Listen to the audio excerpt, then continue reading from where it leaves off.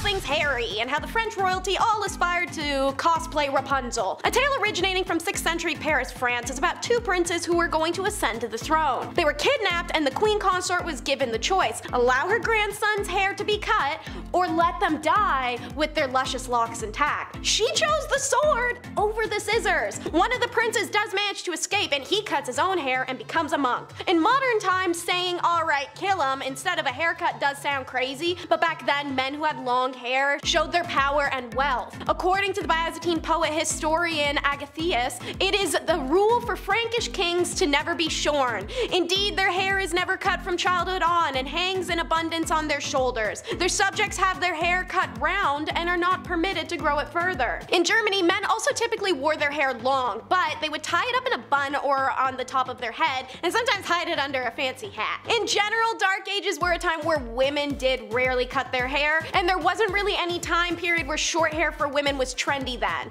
Lower class women typically wore their hair up in braids and buns because it was easier for them to work with, while upper class women got to style their hair with more intricate processes, using ribbons and metallic wires to help keep their braids and buns in place, like a Leia. On the other end of the spectrum, however, bold is punishment. To address why the grandmother would allow her grandson's death before a haircut, in today's world men shave their heads for all sorts of reasons. They could be naturally losing their hairline, have alopecia, or they're just prone to hair loss. However, in medieval times, hair was considered a symbol of power for royal men, as explained. Royal men never cut their hair, so the longer the locks, more powerful you're supposed to be. So, as a man, if you let go of your hair, this was a huge sign of humility. If the grandsons from the first story had returned with shorn hair but are meant to be the throne's heirs, they would make the throne look weak and susceptible. Only monks would shave their heads, leaving a narrow strip of hair horizontally around. Other times, only in the middle of a man's head was shaved and the rest was left alone. And of course, as you may know well from our other Dark Age videos, head shaving for women during this time was a degrading punishment, as a woman's long hair was meant to be her most seductive feature. We talked about one type of head hair, let's travel down to the other, bearded baddies. Recently, beards have made a huge comeback, especially now among the young generations thanks to throwback fashion. Studies have shown that people also associate a man with a beard as being more intelligent, and many people find them to be incredibly attractive. Also, nothing is cooler than the giant dude with the bald head and like the big ass beard, you know, let's be real. Respect for beards though is nothing new. During medieval times, knights were known to grow their beards as a sign of honor, and if one man touched another man's sign of honor, well, it was enough of an insult to challenge them to a duel to the death. Now, shaving was common during the Middle Ages. Commoners would be clean shaven for the most part. Royalty was also usually shaven or had a very trim beard that was kept neat and tidy. Hilariously, however, this is kind of how barbers get started. Back in medieval times, mirrors were very small and cloudy, so they're not reliable. They were also only available to the upper class. On top of that, razors as we know them today didn't exist, so if you wanted to shave, you need to use one of those dangerously long razor blades. So most folks would visit the local barber surgeon for a Sweeney Todd style lineup. As we mentioned earlier, monks had shaved heads and no beards, so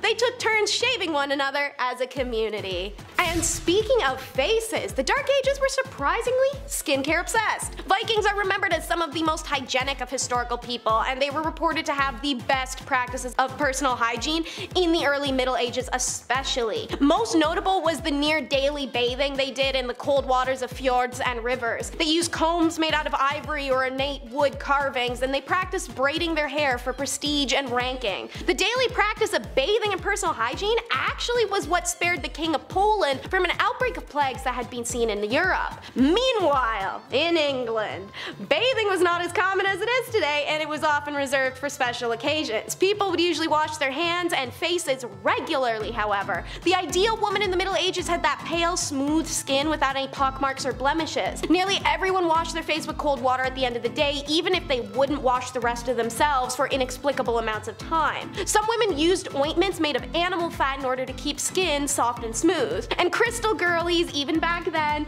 people believed in the power of gemstones to heal. Women would lick amethyst and rub it over their pimples to make it go away. But rest assured, when it's bath time, you were naked in a crowd. In many Middle Age cultures, public bathing was commonplace. The Romans, Egyptians, Greeks, they were especially known for their bathhouses. And in the spring and summer, commoners could be spotted using streams and rivers to take a bath on a nice warm day. Back then, this wasn't seen as being indecent or strange. Water was scarce, and the process of heating a bath bath was time consuming and expensive. So it was also common to share bath water among a lot of people and be less wasteful. However, people are still humans after all, so like teens at a pool party, public bathing became associated with a certain level of sensuality. Seeing as this was a time period where intercourse was usually in hearing or seeing range of your imminent direct family, it's not a surprise this happened, let alone the fact nobody actually cared if it was. Well, except the church. They threw a bunch of laws around to try and limit that crap, but that's always what they've done. Anywho, in Japan, they still continue the tradition of public bathing in hot springs to this day. However, they have the option to segregate men from women, so it's not as often that people leave the public bathhouse to hook up nowadays. Not to get you guys too excited either, but face washing brought in controversial hand washing. Contrary to popular belief, some groups of the medieval people actually wash their hands multiple times a day. Jewish people in particular made sure to wash their hands before eating, and Christians adopted the same practice. But even unreligious peoples would sometimes wash their hands after eating, since a lot of people didn't own utensils, and wiping your hands on fabric ain't always gonna do it. Case in point, honey garlic wings. In upper class families, guests specifically were always requested to wash their hands by pouring water out of a pitcher called an aquamanile, which was poured over a basin. These aquamaniles were often in the shape of lions or people or mythical creatures. However, no one was washing to the extent of using soap for 20 seconds. The water in these small pitchers needed to be shared among a large group of people, so people in the Middle Ages simply splashed water on their hands before drying and poured the dirty water right back in to wash someone else's fingers later. But you'd think that soap would be involved, especially because Endless People essentially had a dark age Etsy store. Today, soap is made out of essentially the same products every time. Back in the Middle Ages though, people used a lot of different substances in a cauldron like witches making a potion just trying to produce some semblance of soapy stuff that don't smell bad. Most successful was a combination of lime, wood ash, lard and oil. Black soap, aka soft soap, gets its name from the dark color of the wood ash lye used to make it, and the cast iron it was often boiled in. Hard soap was made with high quality barilla ashes, which creates a light colored lye. Therefore, white soap quickly became equated with high quality hard soap. The stiff soap was then molded into cakes and bars added dried flowers to the outer side, and the quality and scent of the soap changes depending on how wealthy someone is. Unfortunately, Casey didn't catch the keyword in there a few times, folks made soap with lye, which is so harsh it can remove skin if you scrub a little too hard. Next is how the world could have had toilet paper faster if they weren't judgy wipers. China had toilet paper figured out as early as the 6th century, making small squares of rice paper that would decompose into the ground and take the feces with it. Pretty eco-friendly friendly stuff. However, the Europeans found this to be horrifying because they thought it was disgusting that the Chinese only wiped without actually washing their backside with water. Meanwhile in Europe, they're using a communal sponge on a stick that sat in a bucket of water that wouldn't be changed all day, so please tell me which is more unsanitary and horrifying. In medieval Europe, people sometimes used devices called gonfas, or a gonf stick, as well as a torchicule, or a torch cut. The gonf sticks were sponges on a stick as described, while the torchicule was anything to wipe the bottom, like straw or moss or leaves or wood, you know, the basics. Who has time to care about eye bags though when you're walking around wearing a gag preventer nose bag? Even though medieval people clean their bodies a, a little bit more than you'd imagine, that doesn't mean the towns were sparkling clean. When you stepped outside you came face to face with human waste, rotting food, and trash-riddled streets. Horses regularly relieved themselves on the street, as did the live animals in the markets, and so did the people. Also, animals just kinda died in places and people would leave them there. Add in the smell of mold from straw houses and the smell of diseased human or animal skin and sometimes even corpses, these bad smells were at their worst in cities and large towns. Things were so incredibly smelly people nearly gagged, especially when it all began to bake under the hot summer sun and heat. So in order to combat the smell, some people wore nose bags, which were fabric-like masks that were filled with flowers and other fragrances that would be able to help the stomach smell the streets filled with waste. Men and women would their noses in the nose bag, give them a huff, and life is good again. The lesson here, be thankful for breeze and use it. And of course, the weirdest for last, the ear spoon. Sounds promising, doesn't it? While nowadays people use q-tips to clean your ears, which apparently we aren't even supposed to be doing, as cringe-worthy as it sounds, people use long wooden or metal spoons called ear spoons or ear picks to remove the wax. Ear picks were also frequently made of bone, ivory, and brass as purely utilitarian items. Archaeologists have found them amongst the Vikings primarily, where it was common for them them to carry an ear spoon on a chain around their neck so that they never have to be without their little tool should they ever have to degunk themselves. Ear spoons were used by all levels of society in medieval and post-medieval England following the Tudors. The 17th century English knew about plaque, which they called scale, and they were encouraged by their doctors to scrape their teeth frequently. So these little doodads expanded to include that purpose. And how could I not mention that while a tailor normally would use beeswax to coat thread and make it stronger and easier to use, with no bees available, earwax would do. As gross as it may seem to us today, earwax was worth saving and selling. A steal for number 10. I mean, if we're gonna defend Pedro the Cruel, he was obliged to defend his throne against his father's uh, 10 illegitimate sons. On the other hand, they wouldn't have had so much more support from the people than the king himself if Pedro hadn't outraged his people with arbitrary killings, drama, and rules, as well as the pretty cheap treatment of his wife Blanche, the sister of the king of France. His father, Alfonso, had ditched his wife, Pedro's mom, Maria of Portugal, for his mistress once Maria had produced their son. Exiled away from court, Pedro grew up listening to his mother's hatred for his father, yet when he took the throne, he did an almost exact rinse and repeat. Pedro publicly marries Blanche despite already having secretly wed one of his mistresses, and he abandoned and imprisoned her very shortly after. Basically, if someone looked sideways at him, Pedro had them killed. He inaugurated his reign in 1350 by killing supporters of his half-brothers, and also had his father's mistress killed for his mother. He was said to have killed a man for looking at him wrong way, and burned a woman alive for rejecting his advances. Pedro's new son-in-law, Edward the Black, got blessed with a large gem that he had obtained by robbing and killing a guest at his own house. He also put a hit out on Blanche in the end, and she died via crossbow to the eye. And of course, needless to say, Pedro killed as many of his own half-brothers as he could get his hands on,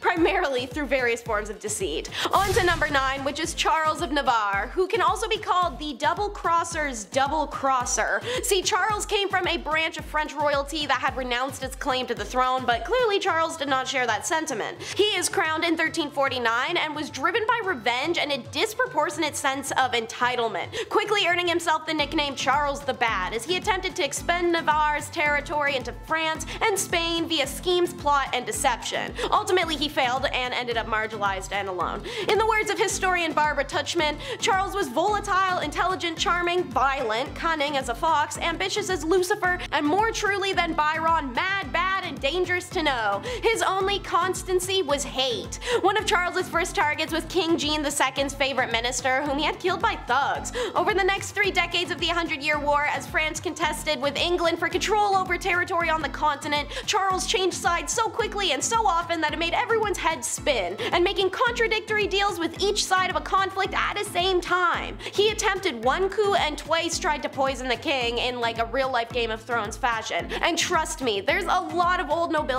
stories like this one, so if you're interested in hearing more of them, I recommend you take a moment to subscribe to The Hive.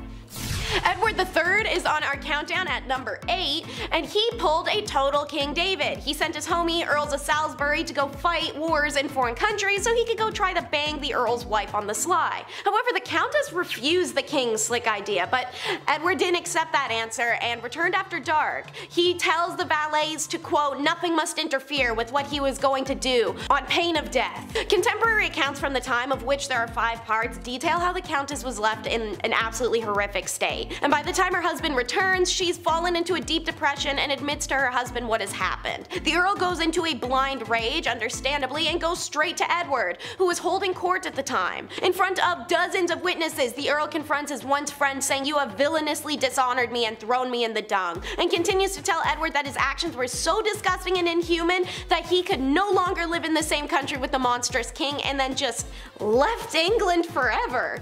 As for the Countess, Alice, all we know of her fate is that the Earl made sure she had an independent income and was returned to her family's care before he left.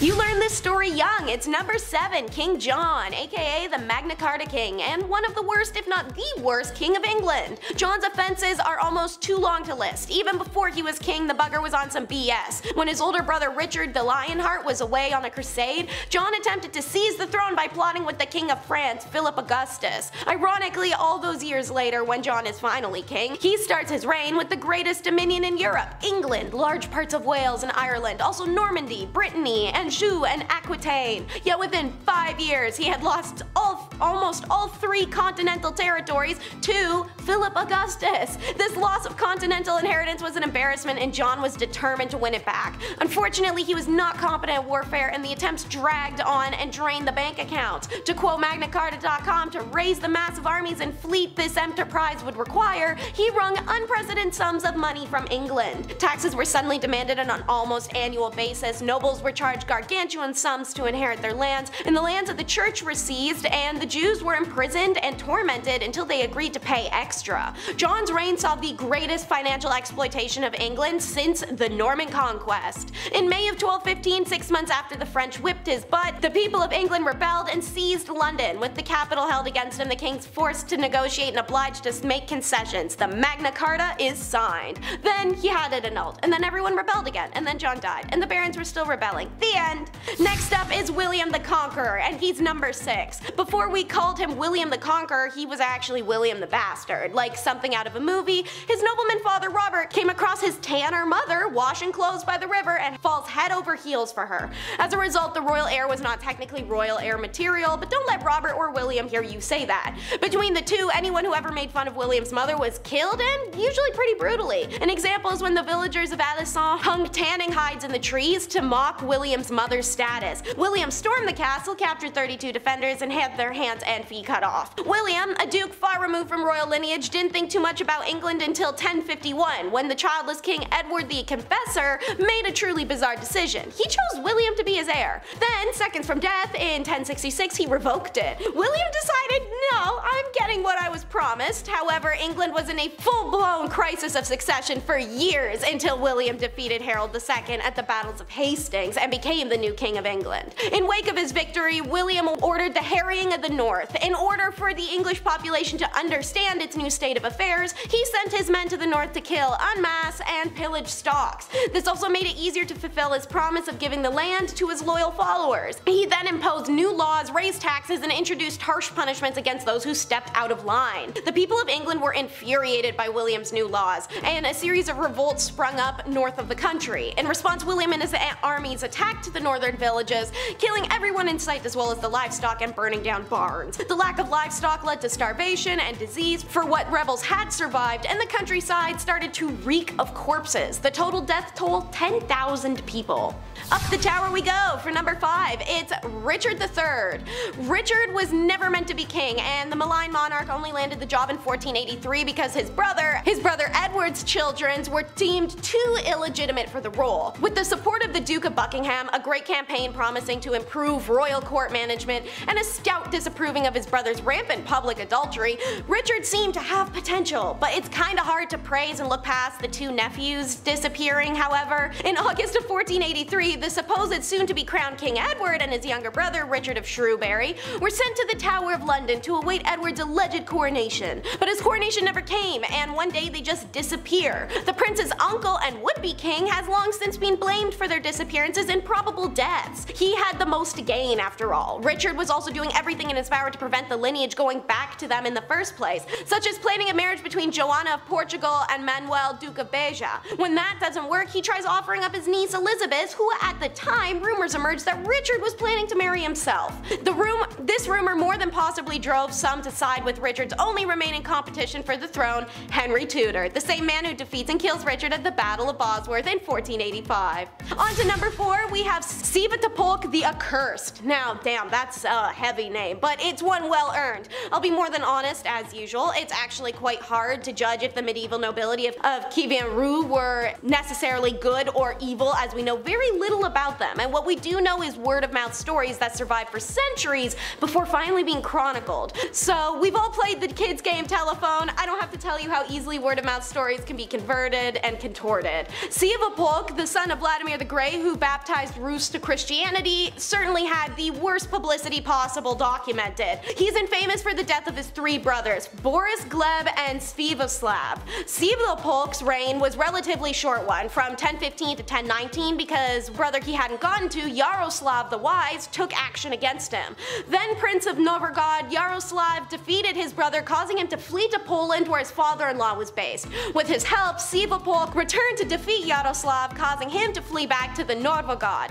It became a back and forth, taking turns driving each other away, and it was only in 1019 that Yaroslav won. Siva died at age 29, traveling back through Poland. Number 3 is Christian the Tyrant. His most notorious act was the Stockholm bloodbath of 1520, when after a three-day coronation feast, he beheaded 82 nobles in the Swedish capital after promising them amnesty in return for intel. Up until this point, everything had been going his way. He had reunited the Kalmar Union under his rule, taking control of trade in the Baltic Sea, and married the sister of Charles the Holy Roman Emperor, joining the powerful Habsburg family. But as said by history professor Lars Bittelskard, Christian gained a lot of enemies in a very short time at the end of 1520. To quote, the bloodbath was a game changer. Partly it led to a rebellion in Sweden at the time when he didn't have any money left to pay for troops, partly it was because the Danish nobility began to fear that they would see the same fate and lose their heads. In Denmark, Christian II had carried through a modernization program, limiting the power of nobility and strengthening his power as king. And when has the upper class ever liked having their sense of entitlement towards power tampered with? When Sweden started to break loose from the Kalmar Union, the Danish nobility lost patience, forcing Christian from the throne,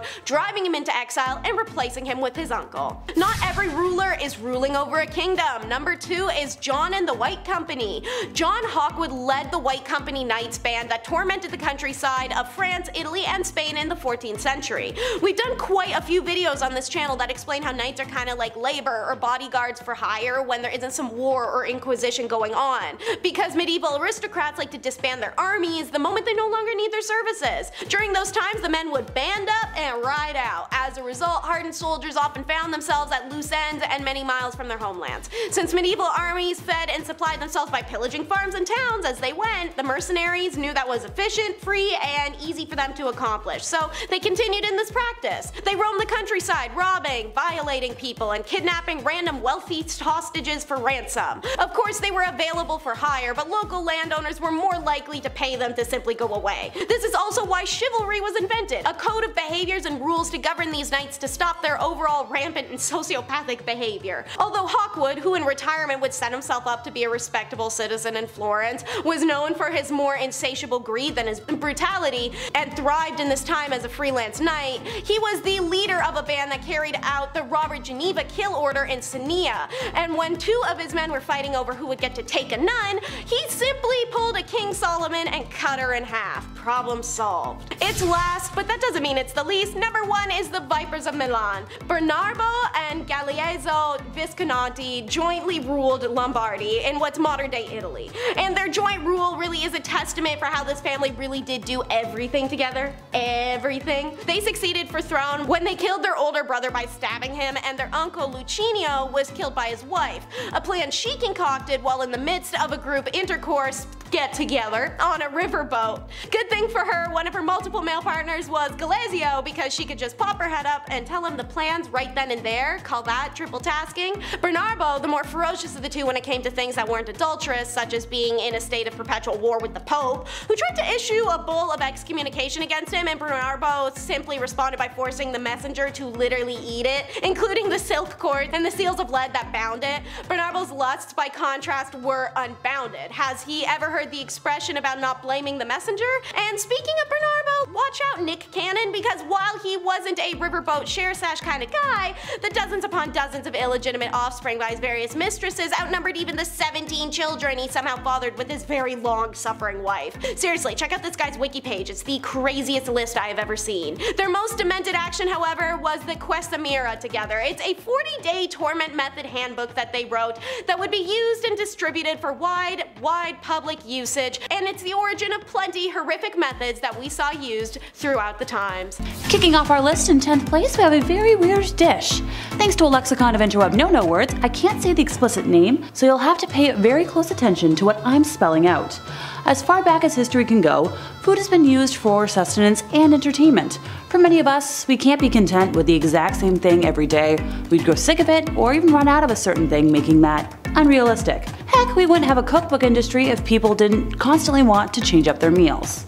Now back in the dark ages, people had to get creative with what they had, since importing and exporting goods from other countries was nowhere near what it is today. Coming up with a delicacy they called helmeted, um, um, Naughty name for rooster that is also used for a phallus? Work with me here. This was done by stitching a rooster so it seemed to be riding atop a pig, with military regalia serving as decorative garnish. I'll stick with herbs for garnishing my meat. Thanks! In ninth place, time to talk about gargoyles. Not to go all hunchback on y'all, but they serve as more than just fascinating architecture. Sadly, they don't sing or talk as far as we know, but there's always hope they just keep it a secret. The term gargoyle comes from the French gargouille, which is the noise of both water and air mixing in the throat. In English, we know this as gargle. Gargoyles were originally designed in 13th century French architecture as a means of disposing of water. Think of them like the precursor to the gutter. Typically, a trough was cut into the back of the gargoyle, and rainwater was able to run off the roof and through the gargoyle's mouth. The longer the body of the gargoyle, the further the water was projected. This prevented water from running down the walls and causing damage to the buildings. I'm glad modern plumbing is a lot more progressive, since that could have definitely been brutal. However, some gargoyles had another function, warding off evil spirits outside of churches and cathedrals. According to French legend, Saint Romanus saved his country from a dragon named La Gargouille. After defeating the creature, St. Romanus burned its body. However, since the dragon had possessed the ability to, you know, breathe fire, its head and neck could not be burned. Therefore, they mounted La Gargouille's head on the wall of a church and used it to scare off harmful spirits. Most gargoyles are depicted as grotesque creatures, but it is said that like snowflakes, you will never find two that are exactly alike. Feel free to travel the world and compare the ones that are still standing. I'll wait. In 8th place we have Animal Court. Yep, Fido and Mittens could be dragged in front of a criminal court back in the day if they didn't follow animal law. There are records of at least 85 animal trials that took place during the Dark Ages, and the tales vary from the tragic to the absurd. By far the most serial offenders were pigs, accused and convicted of chewing off body parts and even eating tiny humans. Most were found guilty and sentenced to the uh, rope necklace or being burned at the stake. In 1386, a convicted pig was dressed in a waistcoat, gloves, drawers, and a human mask for its execution. It wasn't just pigs that felt the hand of the law, though. In 1474, a court found a rooster guilty of the unnatural crime of laying an egg. Unwanted rats often found themselves on the receiving end of a strongly worded letter asking them to, uh, leave the premises, and curiously enough, there was a trial of dolphins in Marseille in 1596. Okay. However, not all of the trials ended in brutality. One donkey, which found herself the victim of unwanted advances, was proclaimed innocent after a strong recommendation from a convent's prior, declaring her to be a virtuous and well-behaved animal. Uh, if anyone wants to hold court for modern dogs that chew up furniture, be my guest. Not much surprises me anymore. In seventh place, we have the origin of nursery rhymes. I thought this one was common knowledge, but after talking with colleagues and friends, enough people didn't know about just how dark nursery rhymes can be, so ergo, this entry. Alrighty, hands up, who has sung Ring Around the Rosie? If you forget, we shall sing it together. Trust me, I've got this thing memorized thanks to my work in children's entertainment, so here goes. Ring around the rosy, pocket full of posies, ashes, ashes, we all fall down. Now let's break this down, shall we? yeah, I know, I should be tried for my puns. A ring around a rosy is a rash, which is the sign of a plague. A pocket full of posies is to ward off the smell, and ashes are from burning bodies. Sure, children's fun. I've sang a version that continued to add on to the lyrics, going, skipping and a singing, having lots of fun, laughing, running underneath the sun. And while I commend the attempt to try and make it more cheerful, personally it just felt a lot more demented. Another dark one is the classic London Bridge is Falling Down. No, no, don't worry, I'm not gonna sing again. I know, it's bad.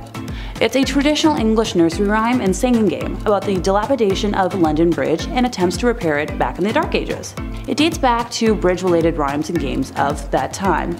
A well-known hypothesis is that the song refers to the burying, perhaps alive, of bodies in the foundations of the bridge. This theory was based on the idea that a bridge would collapse unless the body of a human sacrifice was buried in its foundations and that the watchman is actually the human sacrifice who will then watch over the bridge. Oh, that sounds too far-fetched? Bodies were found beneath London Bridge in 2007 while building work was being carried out for the London Dungeons tourist attraction. I rest my case. In sixth place, we have an uncommon plague. I know, I know, no one wants to hear about a plague ever again after recent history, but I promise this one isn't your typical version. The dancing plague of 1518, or the dance epidemic of 1518, was a case of dancing mania that occurred in what is now known as France from July until September of that year. The outbreak began when a woman by the name of Frau Tochofefa began to dance fervently in a street for a week straight. Soon, three dozen others joined in on the dancing chaos, the plague claiming 400 victims by August. By early September, the outbreak began to subside as the dancers were sent to a mountain shrine to pray for absolution. Guess we found where Footloose took inspiration. It is unsure just how many, but a small number of victims did pass from this epidemic, which is wild. Historical documents, including physicians' notes, cathedral sermons, local and religious chronicles, and even notes issued by the city council, are clear that the victims danced, but it is not known why. There are many theories behind the phenomenon, the most popular being stress induced mass hysteria. Other theories include ergot, which I'll touch on in just a moment, and religious explanations. It would be interesting to see if this ever pops up again in modern times. Hey, look, sometimes a gal just wants a flash dance moment without judgment, okay? Okay, fine, maybe me.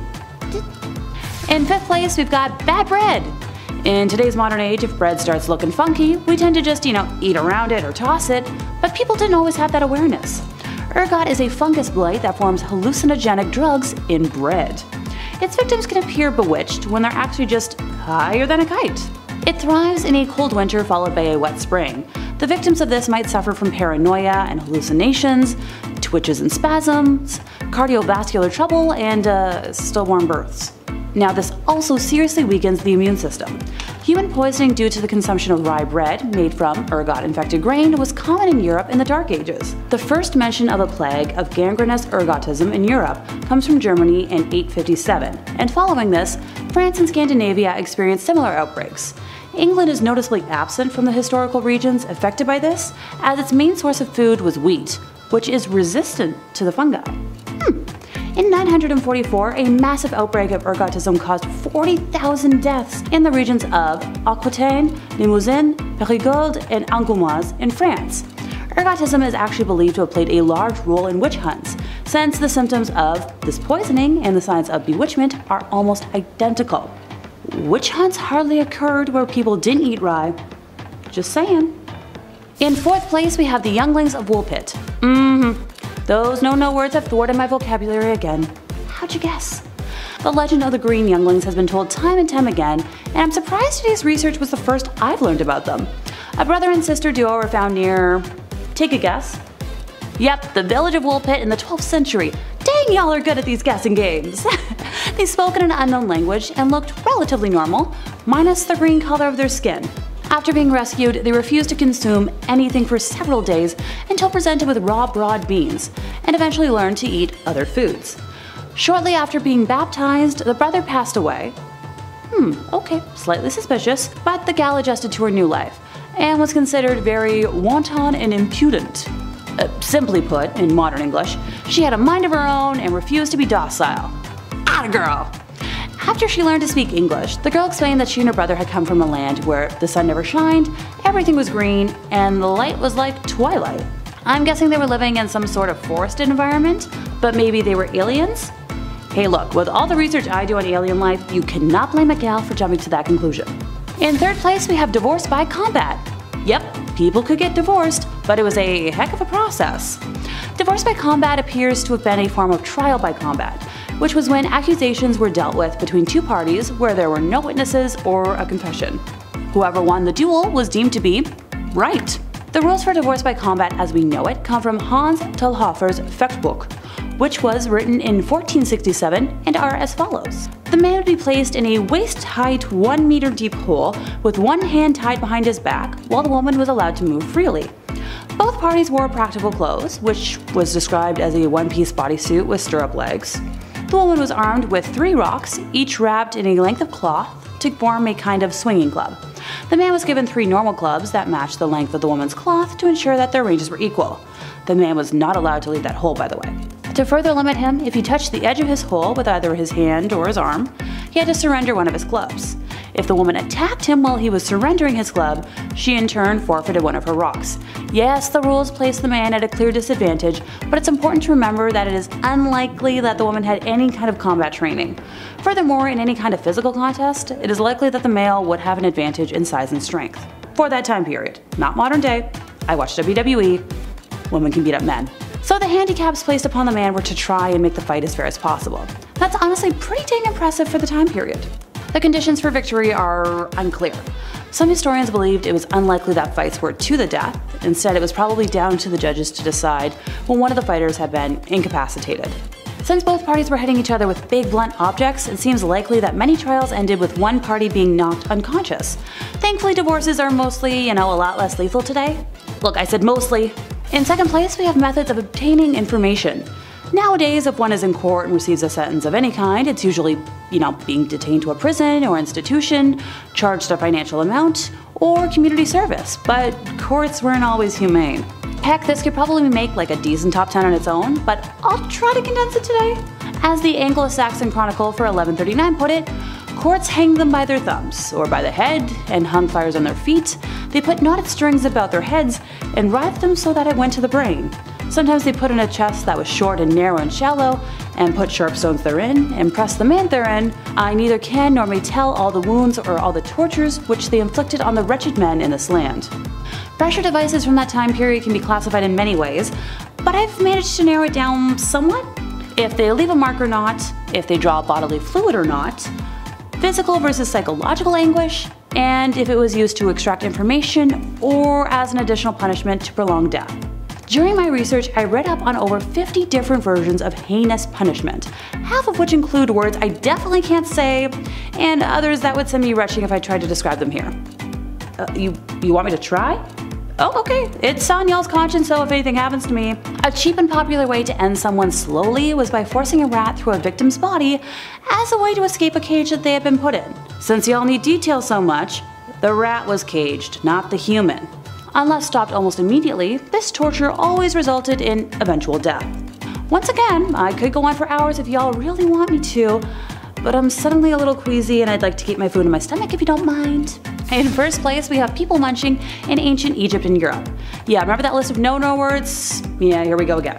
The question in old society was not should one consume human flesh, but how and what kind of flesh did you want to consume? Grave robbers were making bank, but sadly, no one was selling zydrate in a little glass vial. The answer at first was Egyptian mummy, which was crumbled up to stop internal red fluid release. Skull was one common ingredient taken in powdered form to cure head ailments. One popular drink to cure apoplexy mixed powdered human skull and chocolate, while the most coveted remedy mixed skull with alcohol. Even the toupee of moss that grew over a buried skull, called usnea, became a prized additive, its powder believed to cure nosebleeds and possibly epilepsy. Human fat was used to treat the outside of the body. Red human fluid was procured as fresh as possible, while it was still thought to contain the vitality of the body. One physician even recommended drinking it fresh from a living donor. Uh, no, he was not accused of being a vampire. Shocking, I know. The poor, who couldn't always afford the processed compound sold in apothecaries, could gain the benefits by standing at executions, paying a small amount for a cup of the still warm life source of the condemned.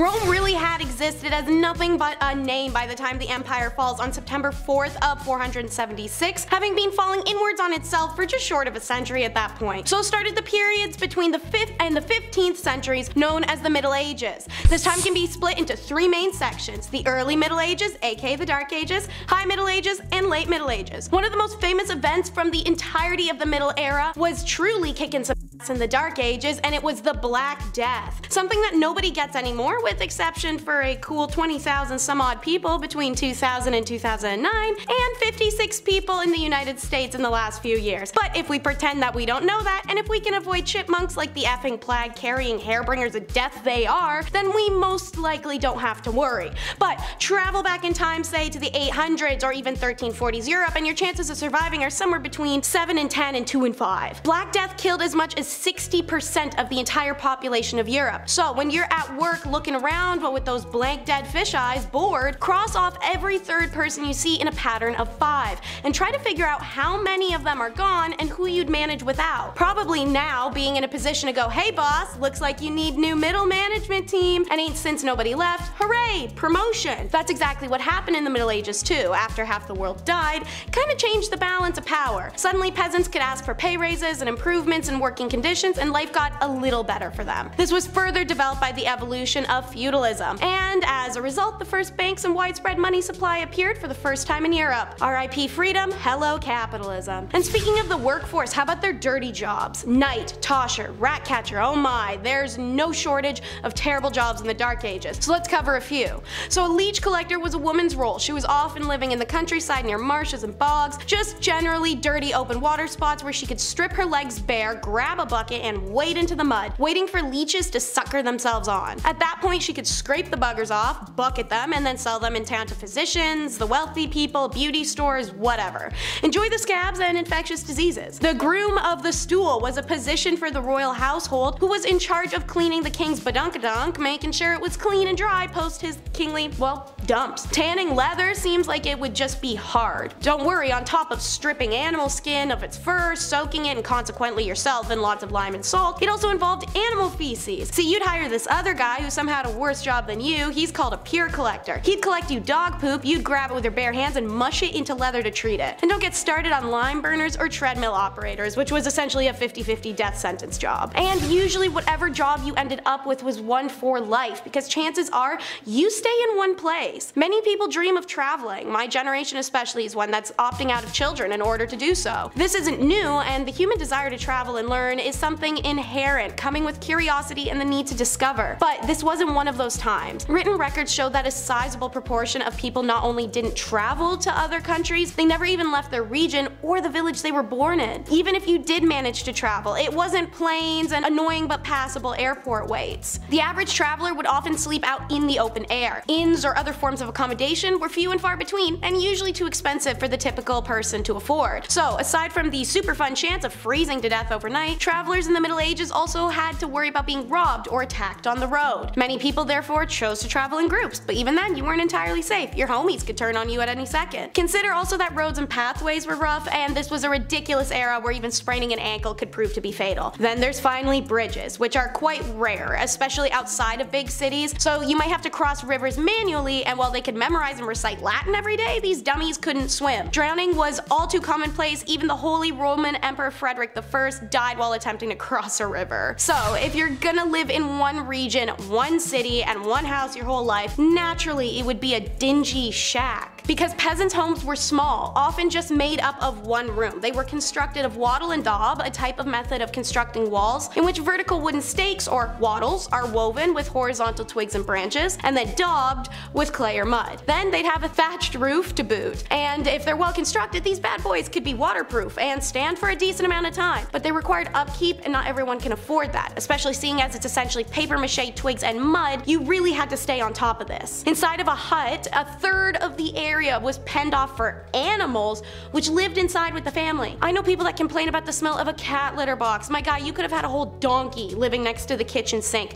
Chickens, cows, pigs. Then, to really complement the mildew smell of rotting roof and the stink of sweat and feces covered animals, a fire burned in the hearth in the center of the hut so that the air was permanently eye-wateringly smoky. Furniture was maybe a couple stools, a trunk and bedding, and a few cooking pots. Beds were a thing, but they weren't very great. And don't forget a couple of dirty chamber pots kicking around the room. We may have discovered a new homing style, you guys. We could call it medieval open conceptualism with minimalism aesthetic. And when it's time to get your kid out of the house, you hook them up with an apprenticeship. The freaky Greekies weren't the only ones tossing their kids at other adults saying, here, take this and raise it. However, unlike the Greek apprenticeship, which came with some strings attached, as explained in the recent top 10 reasons why living in ancient Greece was impossible video, the Dark Age apprenticeship was truly and solely about work. But nobody said it was good or fair work. From the midpoint of the Middle Ages onward, master craftsmen were permitted to employ youngsters for free so long as they provided them with food, lodging, and formal training in their specific craft, which would undoubtedly elevate their status in the society. But getting through an apprenticeship was hard as hell. First, nobody said the food had to be quality, so rations often sucked and apprentices could effectively starve. But then there was the fact you could just get beat up by your master at any time, because it was literally expected of them to do that. Why? Because apprenticeships were ways of parents to get crappy, troublesome teens out of the house and learn some discipline in society. To add insult to injury, apprentices were stuck between childhood and adulthood by being teens. Because on one hand, a teen in medieval times would have been treated as an adult. On the other hand, privileges of adulthood, like the right to inherit money or ownership of land, didn't come into play until around age 21. So you're expected to be an adult, treated like a kid. Small wonder then that the tales of apprentices misbehaving badly are a staple of written accounts from the Middle Ages. Rather than dedicating themselves to their professional development, apprentices would often be found in pubs and brothels. Normal middle-aged teen activity. And having a crappy kid sucks even more so back then than now because of the baby gamble. Choosing, if a woman got to choose, to have a baby was a hell of a decision in the Dark Ages. Plagues, famines, messed up weather, just not the environment for it, let alone women being regarded as morally and they weren't allowed to do things that modern women take for granted, like getting a job, deciding who to marry, having opinions, wearing pants. Your only two options were to become a nun or marriage. No work, no single living in the country, you get two options. And even if you weren't the most devoutedly religious, nun was safer, if not a better option. Childbirth and pregnancies would kill one out of every three women in the Dark Ages. Compare that to today's maternity mortality rate as one out of every 0.028% of women, the fact that the female population now is significantly more equal in numbers to men in comparison, I think the choice is spectacularly easy. According to the Raven Report, childbirth in the Middle Ages and the Tudor period were so dangerous, royal women were encouraged to write out their last will and testament well in advance to giving birth. Just imagine adding that to the baby to-do list under decorate nursery and sew onesies. But on the flip side, some men weren't exactly capable of popping out babies, thus the impotence trials. Modern time has counseling, understanding doctors, and little blue pills, all sorts of resources to help men with that issue. But the Middle Ages? Whew, don't expect any real sympathy, not from wives or the whole community. Conjugal duties are taken hella seriously, partially because everyone was frisky and they're locked into having just one person for the rest of their life. And it wasn't just men who had the right to ask their partners to perform. Wives could also demand intimacy and failure to provide, well, buddy, you're getting served. And many recorded cases of women being granted divorce due to their husband's impotency exist to prove it. And they were carried out in public. Whole Judge Judy style throwdowns to called impotency trials where accused man was expected to um, perform in front of the jury. To be granted a divorce, the woman had to prove her man was unable to perform, which wouldn't be shocking when you have an entire village watching with bated breath, even if it wasn't an issue before. Don't worry, a dude could save himself the shame of an annulment by calling on special witnesses such as working girls or other women from the past who could attest his manly prowess. Any medieval lady capable of putting her husband through such a humiliating ritual was almost always from a wealthy family. Lawyers and expert physicians didn't come cheap, but at the end of the day, men were literally able to cut our faces off in public or throw us in a fire alive for not baking bread right, so guys, I don't really think you can complain about this too much. Laws like this are one of the many stupid details that could have you randomly imprisoned. Another one, stingy stripes. Living in the dark ages is impossible for a lot of reasons, but having to keep track of hundreds of stingy laws to ensure you don't get locked up over a mistake truly was one of the hardest factors. What was the wrong way to pray? The wrong hair? A mole in the wrong spot? A color only the king can wear? Or how the simple act of wearing stripes could lead to your imprisonment or even death? Why? Because for some reason striped clothing were seen as a garment of the devil. Thus anyone caught wearing them would at best get an evil eye from people in the street or at worst get a hemp necktie. From the year 1250 onwards, the only people who were caught wearing stripes were the lowest of the low in society, working girls, handicapped, the ill, the orphaned. They would don striped outfits highlighting their status as outsiders. In 1295, Pope Boniface issued a papal decree banning religious orders from wearing any type of striped clothing. In the year 1310, in the French town of Rouen, for example, a local cobbler was condemned to death simply because he'd been caught wearing striped clothes. Crazily, even animals weren't exempt. Records show that zebras were called beasts of the devil, even though people in Europe had only ever heard reports of them and hadn't even seen one with their own eyes. You can see how these guys led to colonization, right? Ridiculous. With the dawn of the Enlightenment in Europe, the hatred of stripes eased and eventually disappeared, and many look on the phenomenon with confusion, and understandably so. Time for the Shrek references. It's ogres and pitchforks. More specifically, just the pitchforks, and less specifically, really just the farm tools in general. You guys know in the movies like Shrek when the villagers all come carrying pitchforks and farm tools and of all things, like why that and not swords? First of all, swords are heavy and who has that kicking around? Seriously. Secondly, noblemen could require all male peasants over the age of 18 to report for military service. Didn't matter if it was a justified war against a viable external threat or just a petty fight against a local rival. If you are called up for duty, you had to report. According to histories of the time, around 1 in 5 peasant men would be in a military service. Food and clean water were in short supply, and disease was rife. Some historians reckon two thirds of all conscripted men who died were killed by unsanitary conditions of their own camps over any enemy action. But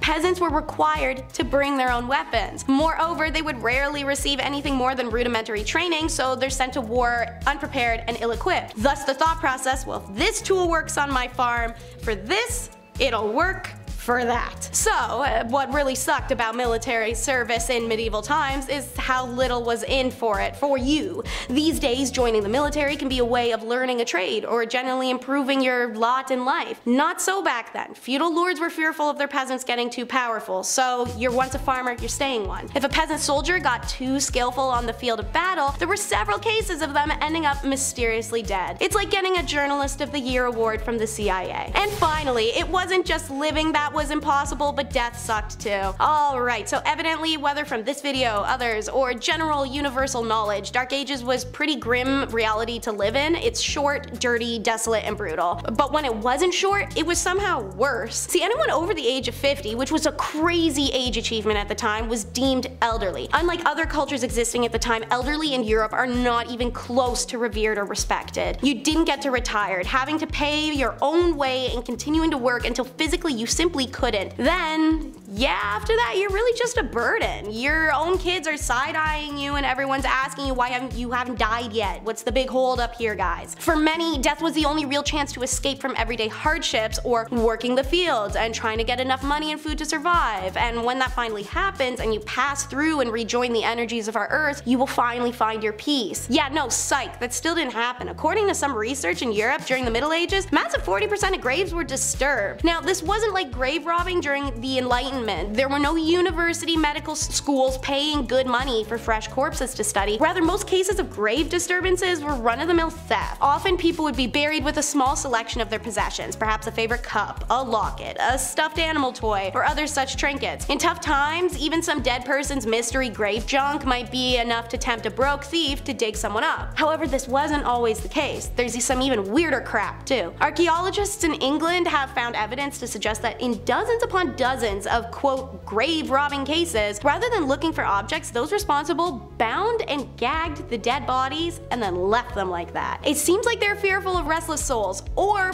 perhaps of the undead rising again. Who knows, they had a lot of problems back then. Number 10. Nightman. Now, the name Nightman sounds pretty cool, doesn't it? If you're part of the Nightmen, you might be a guild that watches over the dark, you know, protecting people like a superhero team, fighters of the day man, master of karate and all that. Well, if only life were that cool. No, you definitely would not want to be a Nightman. A Nightman was a very polite name for a job that boiled down to guy who cleaned human feces out of the cesspit. Yeah, you ever use a septic tank and thought, wow, this is prehistoric technology? Well, imagine a medieval precursor to a septic tank, if you will, and you've got yourself a cesspit. Easily one of the crappiest jobs in human history.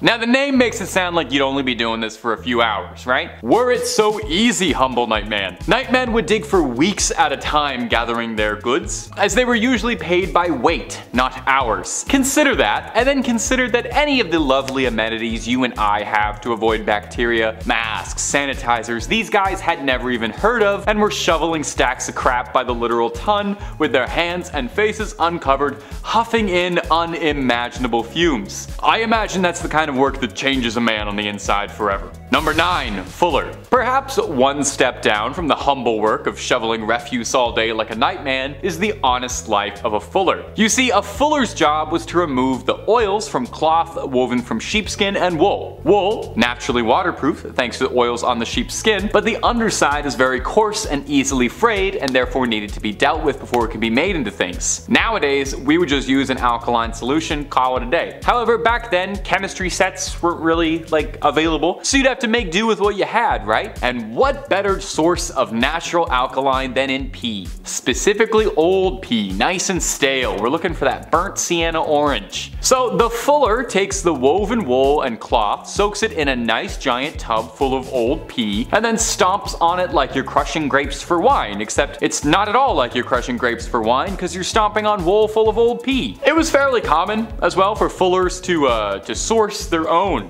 alkaline solution, for lack of a better word. There was no royal distributor of old pee, you couldn't stroll up to the pee man, so they'd have to scrounge and collect it themselves, and if that meant heading to public toilets and private homes, knocking on the front door with their hands held open for a big handout, you know, every drop counts.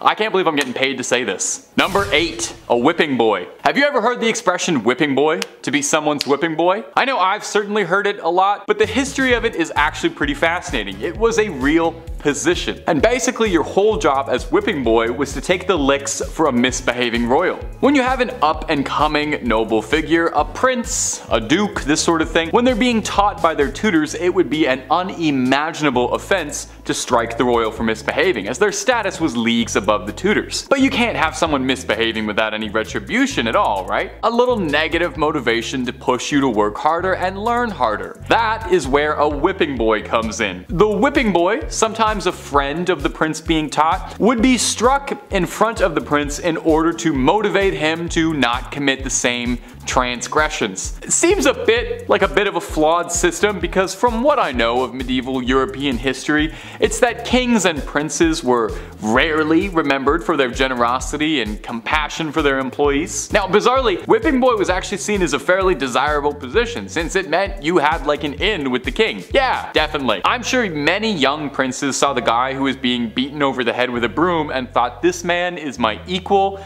and my confidant and a trusted ally. Number Number 7. Groom of the Stool. Ah, now this is a fancy sounding job title. Groom of the Stool. Got a bit of an air of quality to it. In truth, it actually was a bit of a respected lofty position. You had a very close hand to the royal throne. You had a very close hand to the throne. You had your hand pretty much behind the king's bottom at all times. The groom of the stool, to put it gently, was the royal wiper. You see, there's no one bigger or more important than the king, right? The king is like a god amongst common men, and no god should have to debase themselves to something as absolutely humiliating, as dehumanizing as using the bathroom by yourself. So that's where the groom of the stool triumphantly strides in, washcloth in hand. You were kept on retainer whenever the king felt nature's call. You were instructed to fetch the chair and take care of business. And the wipe? That's all you. That's all groom of the stool, baby. That's your moment to shine. And you know, a lot of grooms really got creative with this. They could show off their style, technique, wrist control. There's a lot of artistry to it that I think people realized. The groom of the king did more than just fetching and wiping too. As the man most connected with royal stool, the groom also shared the responsibility of monitoring what was going on down there for any changes in the king's health. Heavy is the head that wears the crown, but much heavier is the hand that wipes the bottom. Number 6. Catgut. Okay, in contrast to the last one that had a nice name, this one has a disgusting name. Catgut. Way back when in yesteryear, they didn't have the same tools available to us now when crafting musical instruments, so they had to get creative.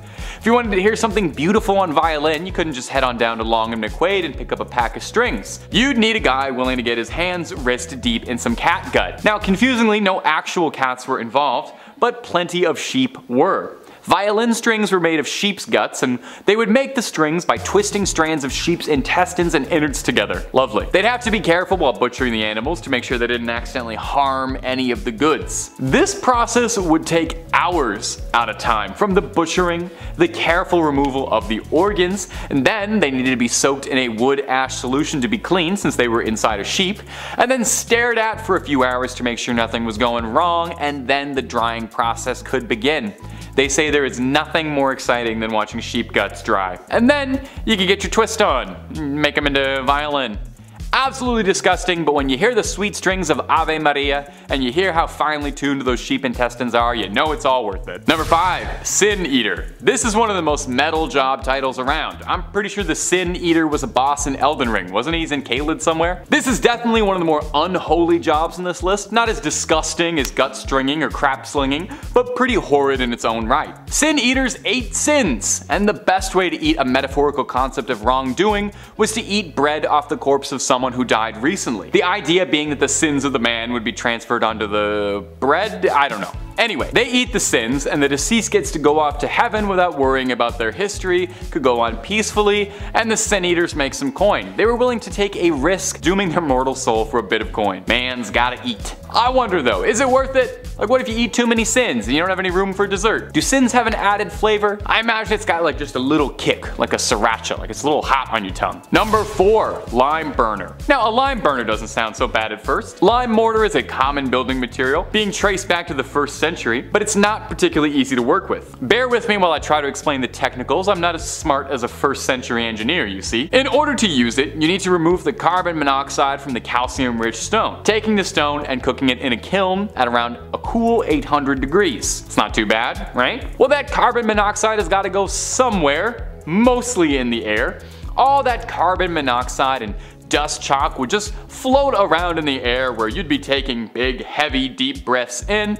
And I'm not sure how much you know about carbon monoxide, but it's consistently the number one spot on Rolling Stone's magazine list of top 100 substances to not breathe in. On top of this, did you know that superheated lime mortar is violently volatile against water? Meaning that if you were to sue, you know, sweat in a building that was 800 degrees at any given time, it would have disastrous consequences. Be careful.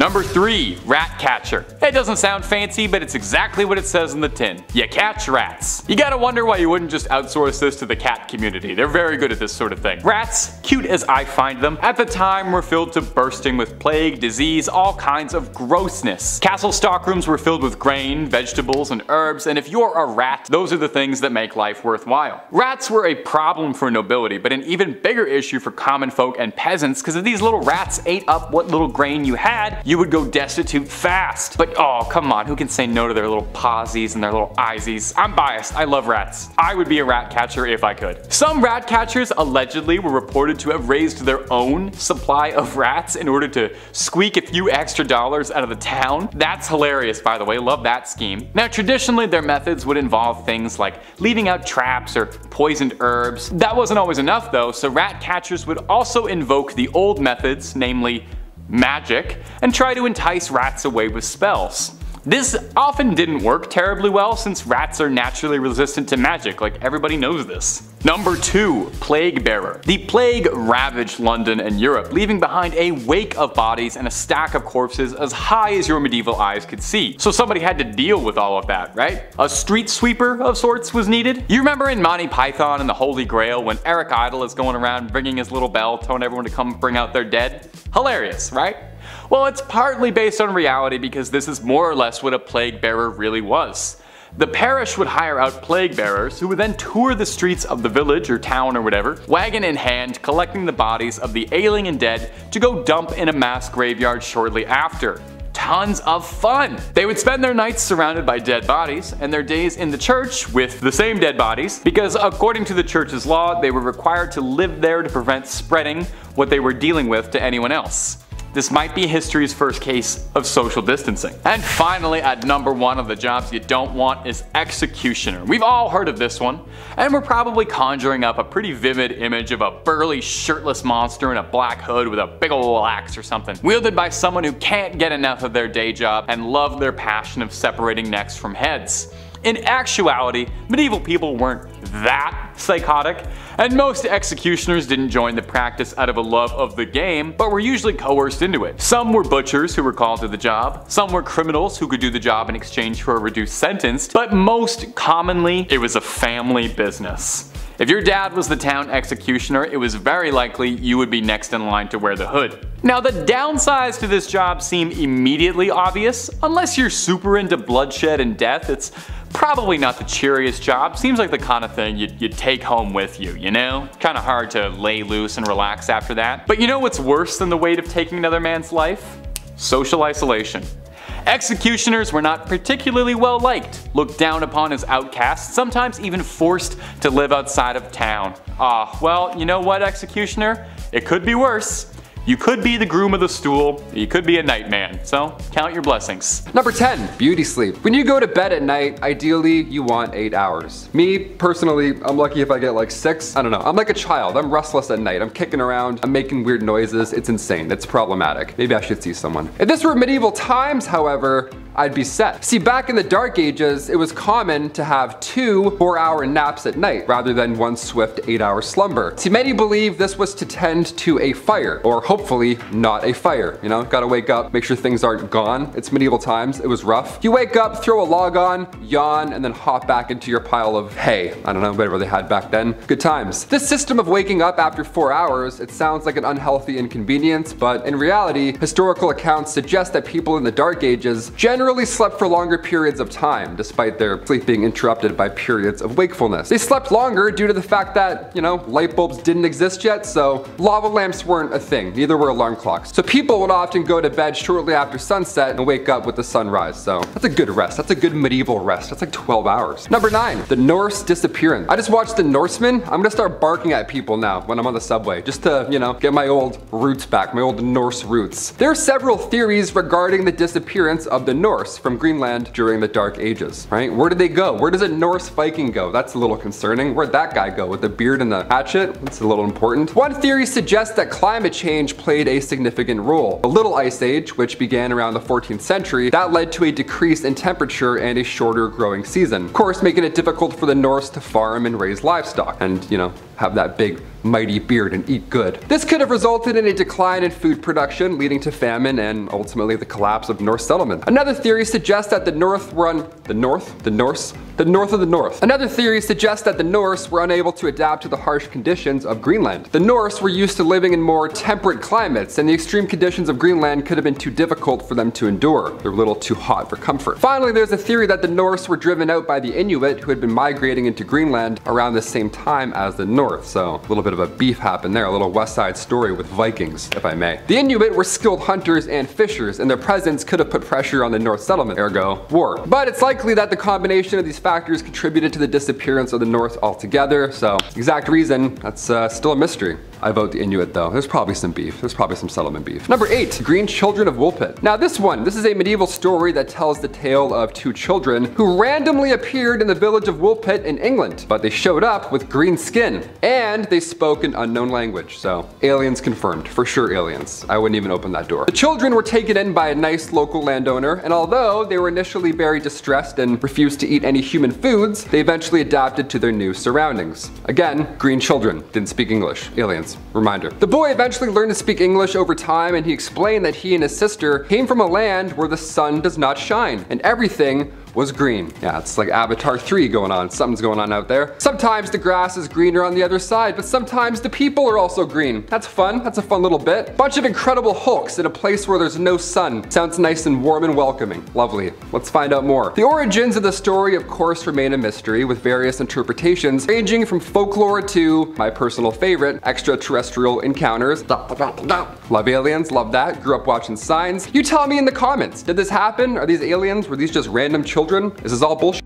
Who knows? Number seven, Shroud of Turin. The origins of the Shroud of Turin, a piece of cloth that bears the image of a um, one Jesus Christ, a crucified man, shrouded in mystery it seems. According to tradition, the shroud was used to wrap the body of, again, one Jesus Christ after his crucifixion, and many Christians believe this right here to be the burial cloth of Christ. I pointed like I actually have it here. I don't have it here. I wish I did. That would be great. We get a lot of likes, but no, it's over there. However, its authenticity is the subject of ongoing debate, of course, because I mean, who really knows? The shroud first appeared in historical records in the 14th century, and it's been housed in Turin, Italy, since the late 16th century. Again, that's a pretty mighty piece of cloth right there. Next national treasure. Nicolas Cage has to grab that and put it in his pocket like a cowboy. Number six, John Cabot's fate. John Cabot, he was an Italian explorer who sailed under the English flag, and he's known for his voyages to North America in the late 15th century. His final voyage in 1497, this was intended to establish English trade and settlements in the New World. But Cabot, he set out with a small fleet of ships from Bristol, England, and he sailed along the eastern coast of North America. However, something happened. He encountered difficulties, I guess one could say, including rough weather and a mutiny among his crew, which is much worse than a storm, I would say. And his fate remains unknown to this day. That rhymed, Dr. Seuss, love it. Some historians believe that Cabot may have perished at sea, while others speculate that he may have made it back to England and then died there. So, how did he go? Was he eaten?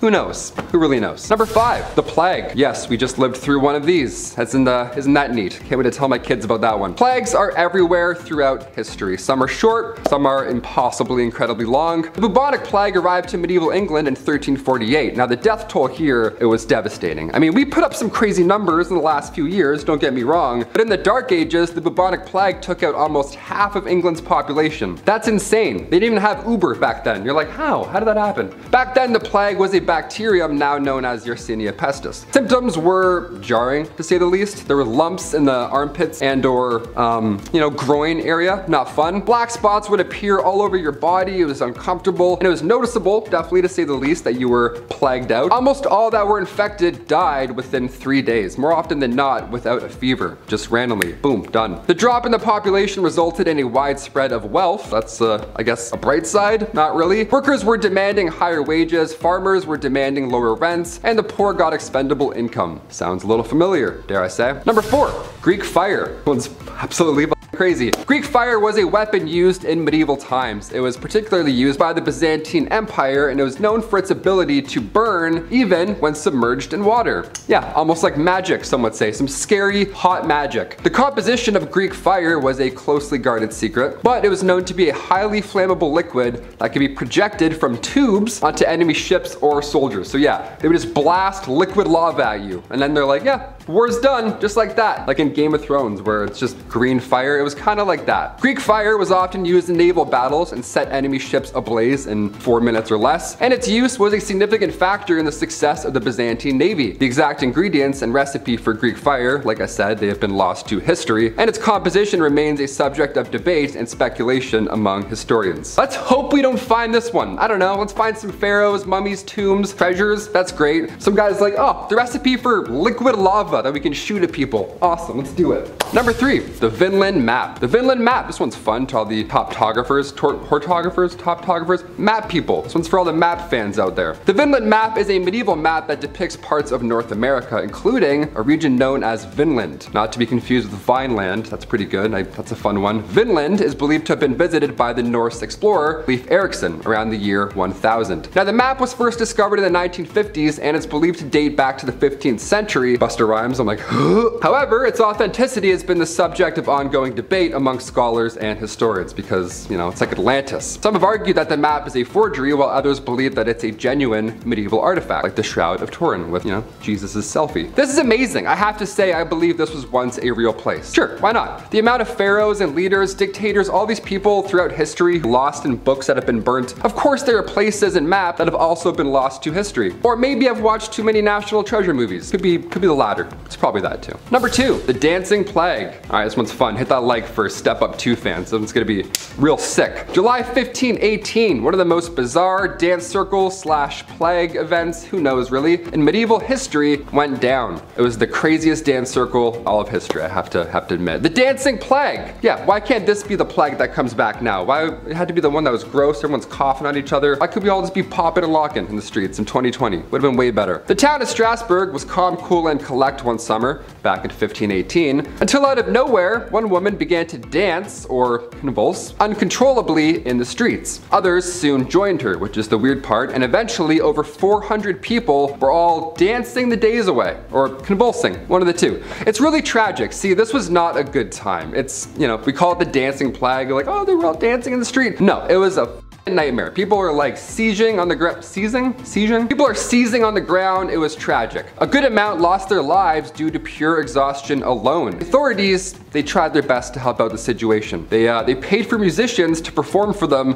while they convulsed, which is just the thing you need back then. They're like, oh my God, what's happening? Quick. They just played music. They're like, this makes it way better. This is so fun now. No, it was horrible. Everyone was sick. This was a disease. This happened a few times in Europe, believe it or not, between the 14th and 17th centuries, and we still don't know what exactly happened. All we know is that it was some sort of illness and that it was not like Step Up 2. Apparently it was not sick, nor 3D, nothing like that. And finally, number one, no insults. This one here is great. This would change the game today. If we brought this one back, so good. I can't whistle, but It'd be like that. If you hurled insults at somebody back in medieval times, they were entitled to compensation and they could summon everyone else who's around at the time to be a witness. Yeah, if you spoke bad of someone during the Viking Age, even if the person wasn't there, it could ruin their reputation. And because of that fact, you now need to pay them for the possible damages you caused with your words, with your sick, nasty words. It doesn't even matter if the insult was true either. Reputation was how you gained employment back then, how you met friends, and it was really important. It was an important thing not to be messed messed with. Also, if you insulted one man, apparently you insulted his entire family as well. So it's like that Vin Diesel kind of Fast and Furious families everything vibe where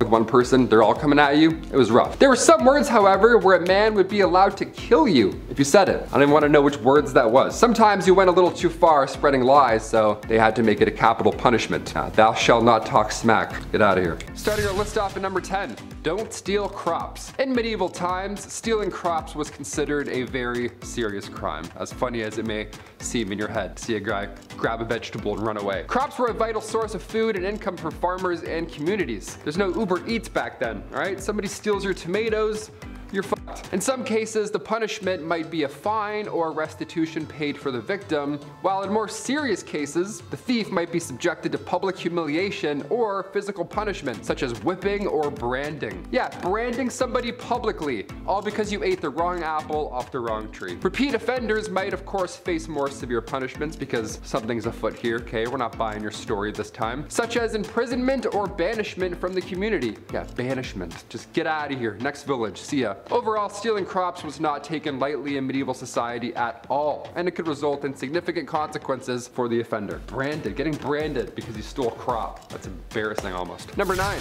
don't steal at all. Yeah, let's rewind the clocks back a bit more. Don't take anything ever.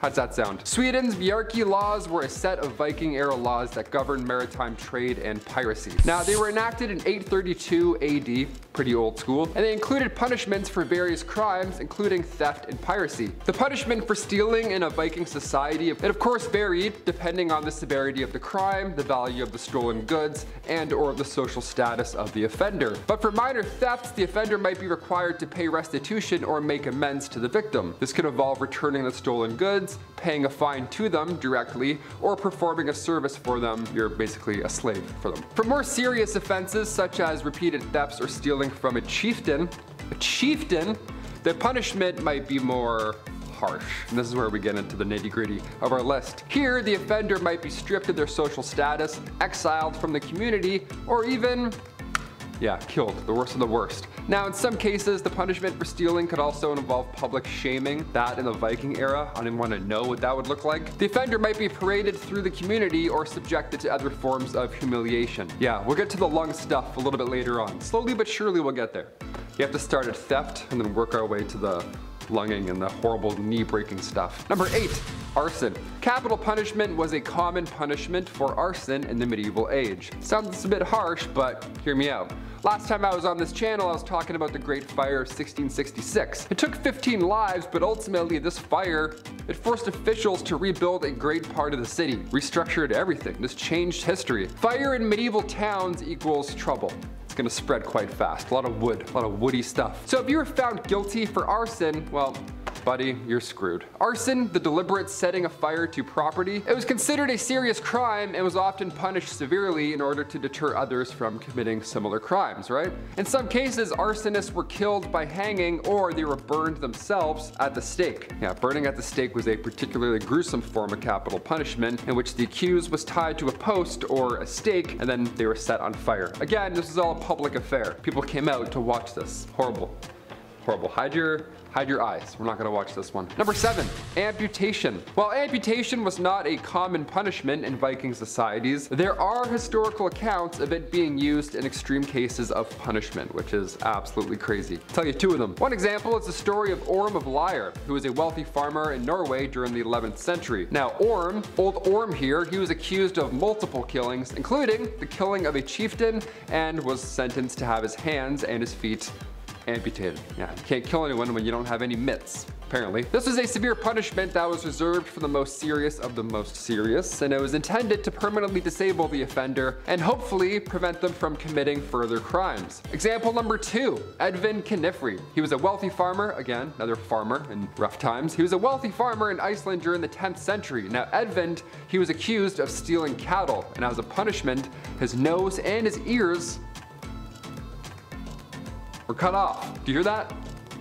That's Edvin's ears getting cut off. It's horrible. I can't show it, but I can definitely act it. This form of punishment was intended to publicly shame the offender and serve as a warning to others. Yeah, I see Edvind over there. Old non-ear Edvind. That's why you don't steal. Number six, Slavery. Slavery, of course, was a common practice in Viking or medieval societies, and it was often used as a punishment for crimes such as theft, piracy, and debt. As I said earlier, if you steal enough stuff, you owe people far too much. Now they own you. According to the Bjarki laws, a set of Viking era laws governed in, you know, 832, I mentioned that earlier as well, individuals who were unable to pay their debts could and will be sold into slavery. Yeah, you gotta pay some way. Vikings also engaged in the slave trade. They captured individuals during these raids and they sold them as slaves in markets across Europe and the Middle East. Slavery was an integral part of the Viking economy and many Viking households had slaves actively who were performing various tasks such as farming, household chores, and even military service. The treatment of slaves in Viking societies varied depending on the individual owner,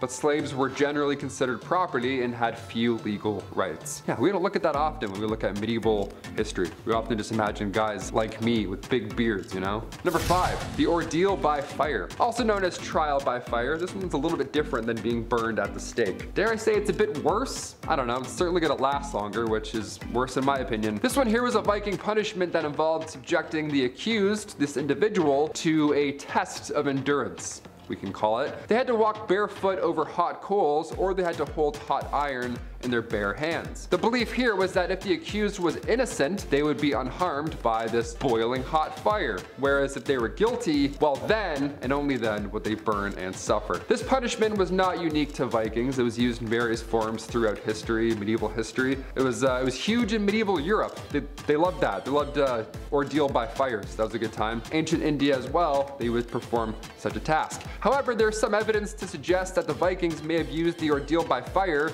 as a form of of punishment and trial. For example, the Icelandic sagas, which are a collection of stories and history from medieval Iceland, they describe the use of ordeal by fire in legal proceedings, which Again, imagine being born in that era. Like, this is what you have to go and watch. I can't even watch UFC. I can't watch this guy burn. Are you kidding me? In one story, a woman was accused of adultery and then she was forced to walk barefoot over hot coals as part of her trial.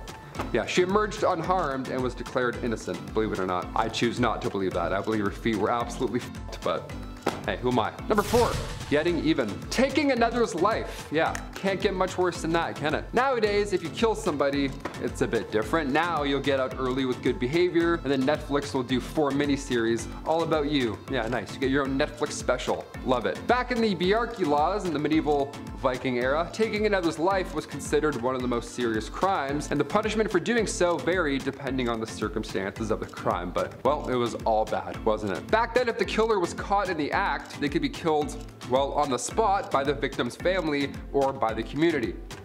Over in 14 minutes flat, everyone goes home. No trial, nothing. If the killer was caught after the fact, they were typically subjected to a fine known as a weregild, which was paid to the victim's family as compensation for the loss of their dearly loved one. And if the killer was unable to pay the fee, they could be subjected to other forms of punishment, including exile or even execution. Exile was brutal as well. You were declared an outlaw, then you were banished from Viking society with no legal protections or rights. This often led to you living in the wilderness, and that's terrifying, and that's lonely, and that lasts a while, and that's horrific. In some cases, the victim's family could also choose to enact vengeance on the murderer themselves rather than relying on the legal system. This could lead to a cycle of violence and revenge known as a blood feud that could last for generations. That's crazy. That sounds like it's something from a Batman comic. A cycle of revenge that could last generations? My god, let it go, Bruce. Number three, treason. Treason was defined broadly and it could include acts such as plotting against the king or queen, engaging in rebellion or insurrection, or providing aid to the enemy during wartime. Don't be a little snake, basically, just don't do any of the above. The punishment for treason varied depending on the specific circumstances of the crime and which country it was committed. Now, this one's quite broad, you never know where you're gonna get, basically. In some cases, the punishment could be as bad as getting hanged or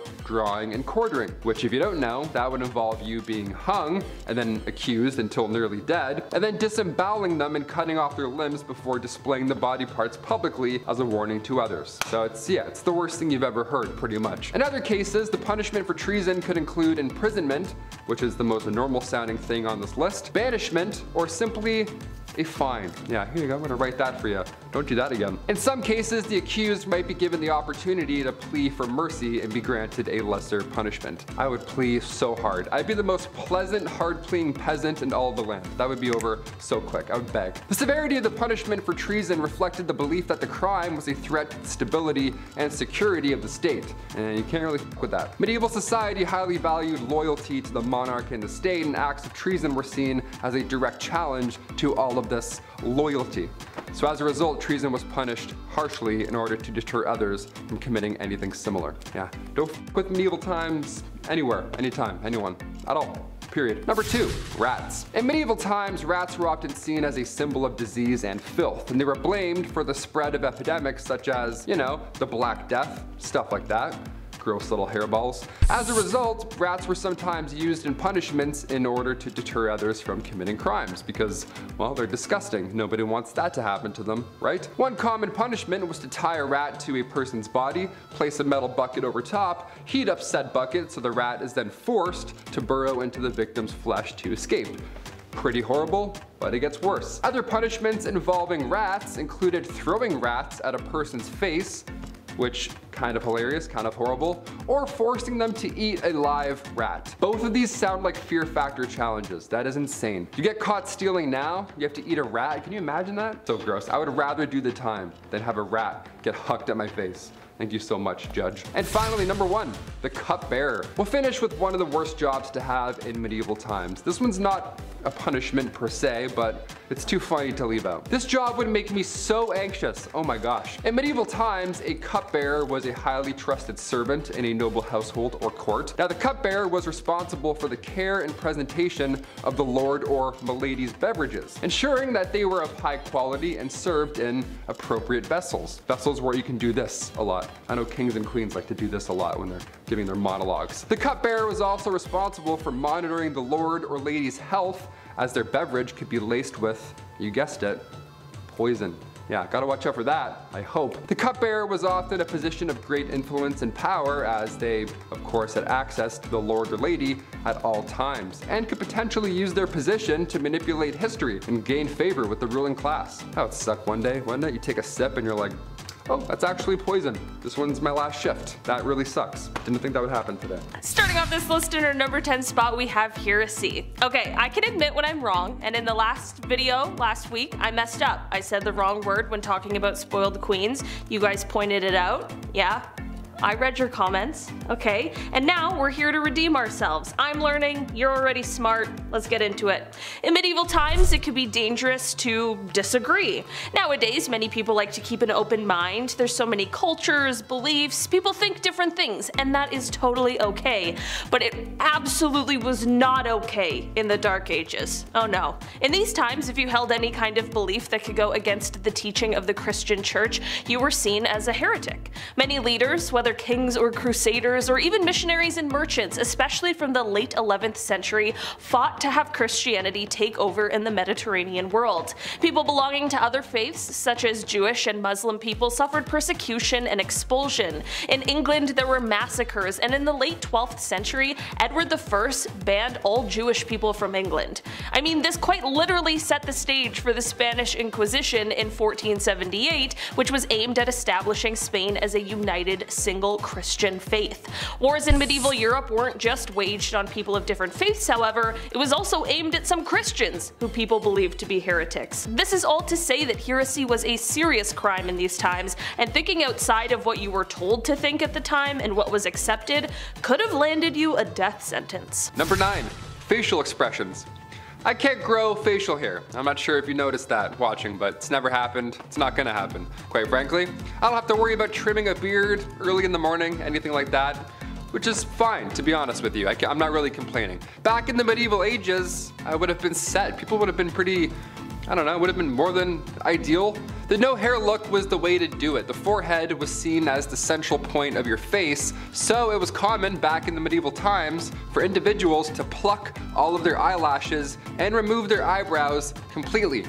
So people would just be looking at you like, Nothing going on, no facial expressions, just bald everything. Many would go as far as to pluck their hairline back even further so they have the round, oval, queen bald look. Imagine that. Imagine everyone's bald in Game of Thrones. Think it'd still get the rankings that it does? Probably not. Probably not. Maisie Williams is just... In our number 8 spot today we have Animal Court. The history of animals being put on trial goes back pretty far, as it is believed it has roots in ancient Athens, but it was definitely a common practice as recently as the 18th century. Courts would go after things like rats, weevils, flies, locusts, and serpents for damaging crops, and when punished, they weren't just liable for damages, they could be banished and excommunicated. Like, imagine trying to banish a fly. This isn't where it ends though. In civil criminal court, they'd have livestock being tried for violence against humans. Like, I'm sorry, Your Honor, my client could not tell the prosecution that she didn't want to be milked because she's a cow. Kicking was the only way. As an example of a real animal court case, let's take it back to 1457 France. Villagers in a town witnessed a sow and her six piglets attack and kill someone. Terrible story, sounds absolutely horrifying to have to witness. In this day and age, animal control would be called and all of those pigs would likely put down. But not in these times. When this happened, all the pigs were sent to court. Like real court. There was a judge, two prosecutors, eight witnesses, and a defense attorney for the accused animals. Witnesses provided testimony that proved that the sow had most definitely attacked the person and was definitely responsible for the crime. The piglets, however, well, for them, testimony was a bit murkier. There wasn't a witness who actually saw any of the piglets do any actual attacking. They just had blood on them, which isn't necessarily a sign of their guilt, it just means that they were there. This is why the court, while they did sentence the sow to death, the piglets were exonerated for their role in the crime. It's very strange and now would be a very expensive system, but in those times it really did work for them. Number 7. Inns and Taverns When we think of a medieval tavern or an inn, it's important to note the difference. Yes, there's drinking in both, and yes, both of them don't smell so great. But inns, their sole purpose was to house travelers comfortably, whereas a tavern not so much housing. More rough housing, if anything, if you catch my drift. Say you're passing by one of these taverns, right, Saturday night, you feel like grabbing some questionable ale from some questionable establishment, well, you better come prepared. In the Middle Ages, you had to bring your own fork everywhere you went.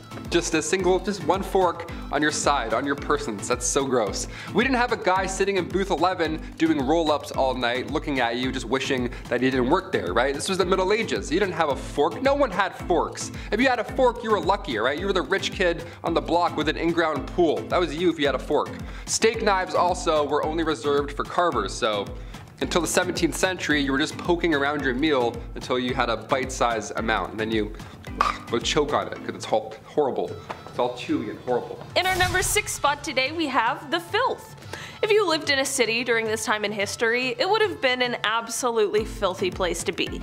I mean, human and rats lived in harmony. Not harmony, re the plague, but things were so dirty rats were everywhere. Want to go swimming in the nice stream nearby? Huh, well good luck, because not only is that body of water used for dumping sewage, but it's also for the village's water supply to both drink and bathin'.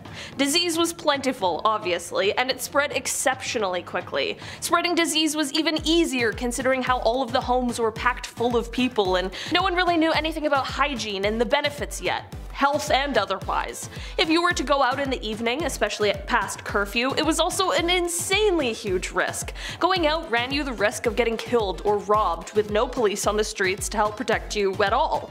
While city living provided a bit of safety in numbers situation compared to the countryside, and also provided more opportunities to make money, it was still quite a risky place to live during the Dark Ages. Number 5. Teeth worms. Awesome. You have any cavities? Now you're gonna be looking this whole video.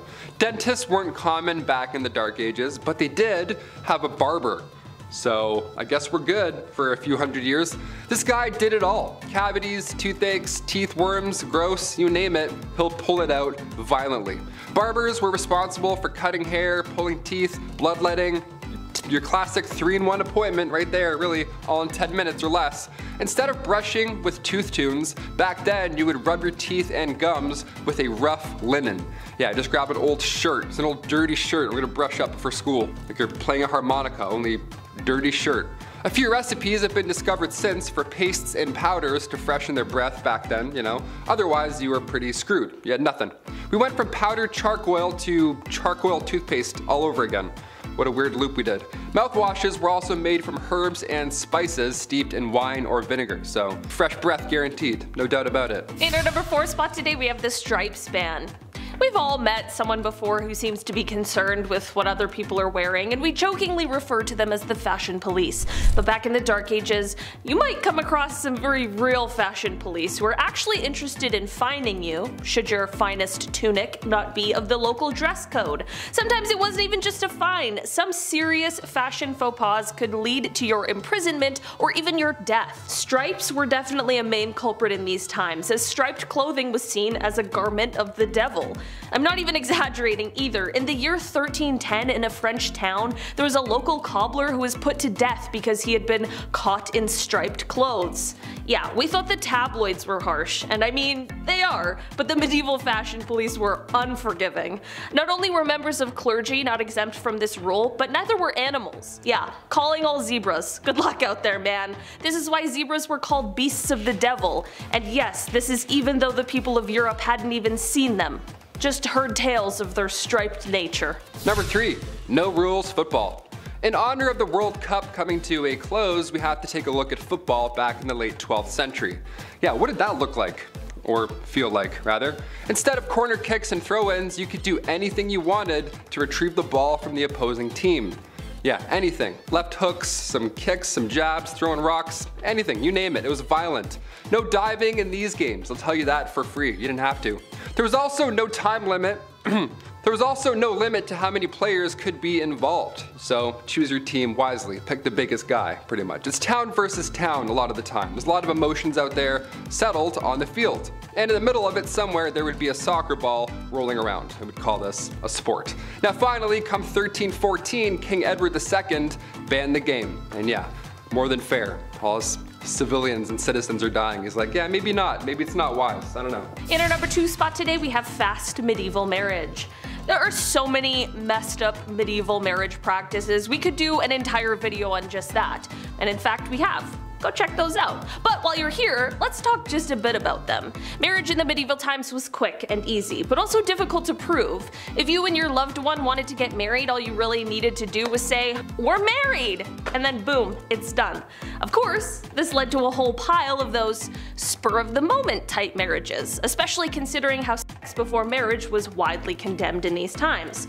You know, people are like, eh, it, we're married now, let's do it. Well, I'm pretty sure many people who are divorced would have preferred if their marriages were this easy. This led to people, of course, taking advantage of this difficult to prove thing. Most especially women would often fall victim to a man who might want to take you as his wife for the night. But then the following day, after getting what he wants, he denied ever agreeing to the union of the two, if you're catching my drift. This is why many women tried to get at least one witness to union just in case. And finally, number one, pointed shoes. This one's so fun. Whenever I see anything that's related to the medieval times, I always admire the attire, right? Especially the shoes. I hate buying shoes today so much. Now they're so specific. You got walking, running, trail shoes. They're always so expensive. Nobody does it like the medieval times anymore, specifically krakows. Krakows were awesome. They were the style of shoe commonly worn in the 15th century Europe that looked really ridiculous. They had the long huge long nose that went up really high. They're so silly looking, maybe that's why I love them. These long-toed shoes first appeared in the 12th century,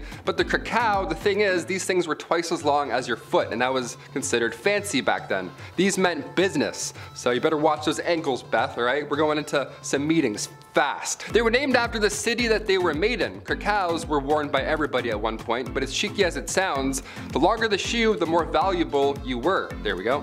So it turned into a joke eventually, right? These things got way too long and it looked ridiculous. You ever walk around in flippers beside the pool where you do that big silly walk? That's the walk that everybody was doing in town, right? It was out of hand. They would be stuffed with horsehair or moss. Yeah, which is just as comfortable as Dr. Scholl's. Imagine stepping around in moss all day. Yuck. Also, sometimes a string would be needed to be tied from the tip of the shoe to your knee just to keep these damn things afloat. So everybody at one point in time, in the medieval times, looked like a Muppet tied to strings. How amazing is that? Do you own any krakows? If so, how do we get our hands on a pair? I'm a size 11 and a half krakow.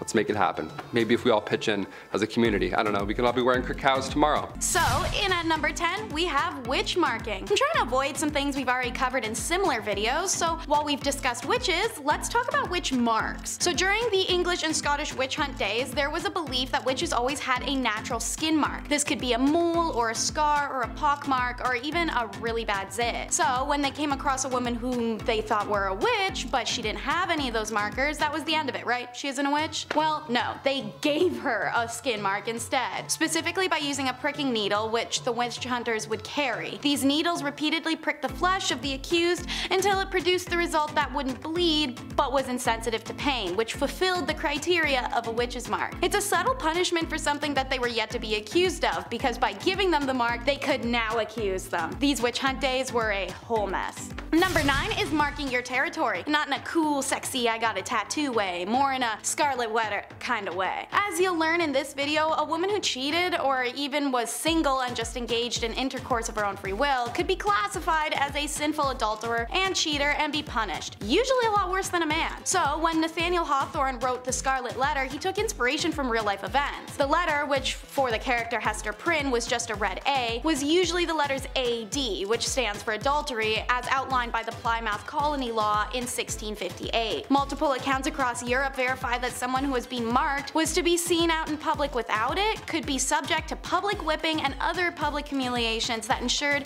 a person's social alienation. Like in the Scarlet Letter, when Puritan minister Arthur refuses to admit his sinful side of the act with Hester, he's branded with an A in his chest. In a man's case, while this was of course painful, it was allowed to be hidden. He also didn't have to face the societal consequences the way any woman would have. For number 8, we travel to discuss status degradation. While it still persists today, not everyone knows what it means. So essentially you do something wrong, oopsies, you lose some of your basic human rights. You could steal something, have relations out of wedlock, cheat on your partner, miss some work. Every empire that has used this tactic has had a variety of ways that you could mess up and receive this punishment. Naturally, in times where a woman was property and couldn't buy things, own things, or do things, or breathe without having a man side-eye her for it, this was a monumental punishment to receive. Under the Roman Empire Augustus, who reigned from 27 BCE to 14 CE, a woman guilty of adultery could lose several rights as a citizen and suffer a financial burden. Noblewomen in the Kingdom of Korea during the Chosun dynasty faced a similar degradation of their societal status if they were found guilty of remarrying as a widow.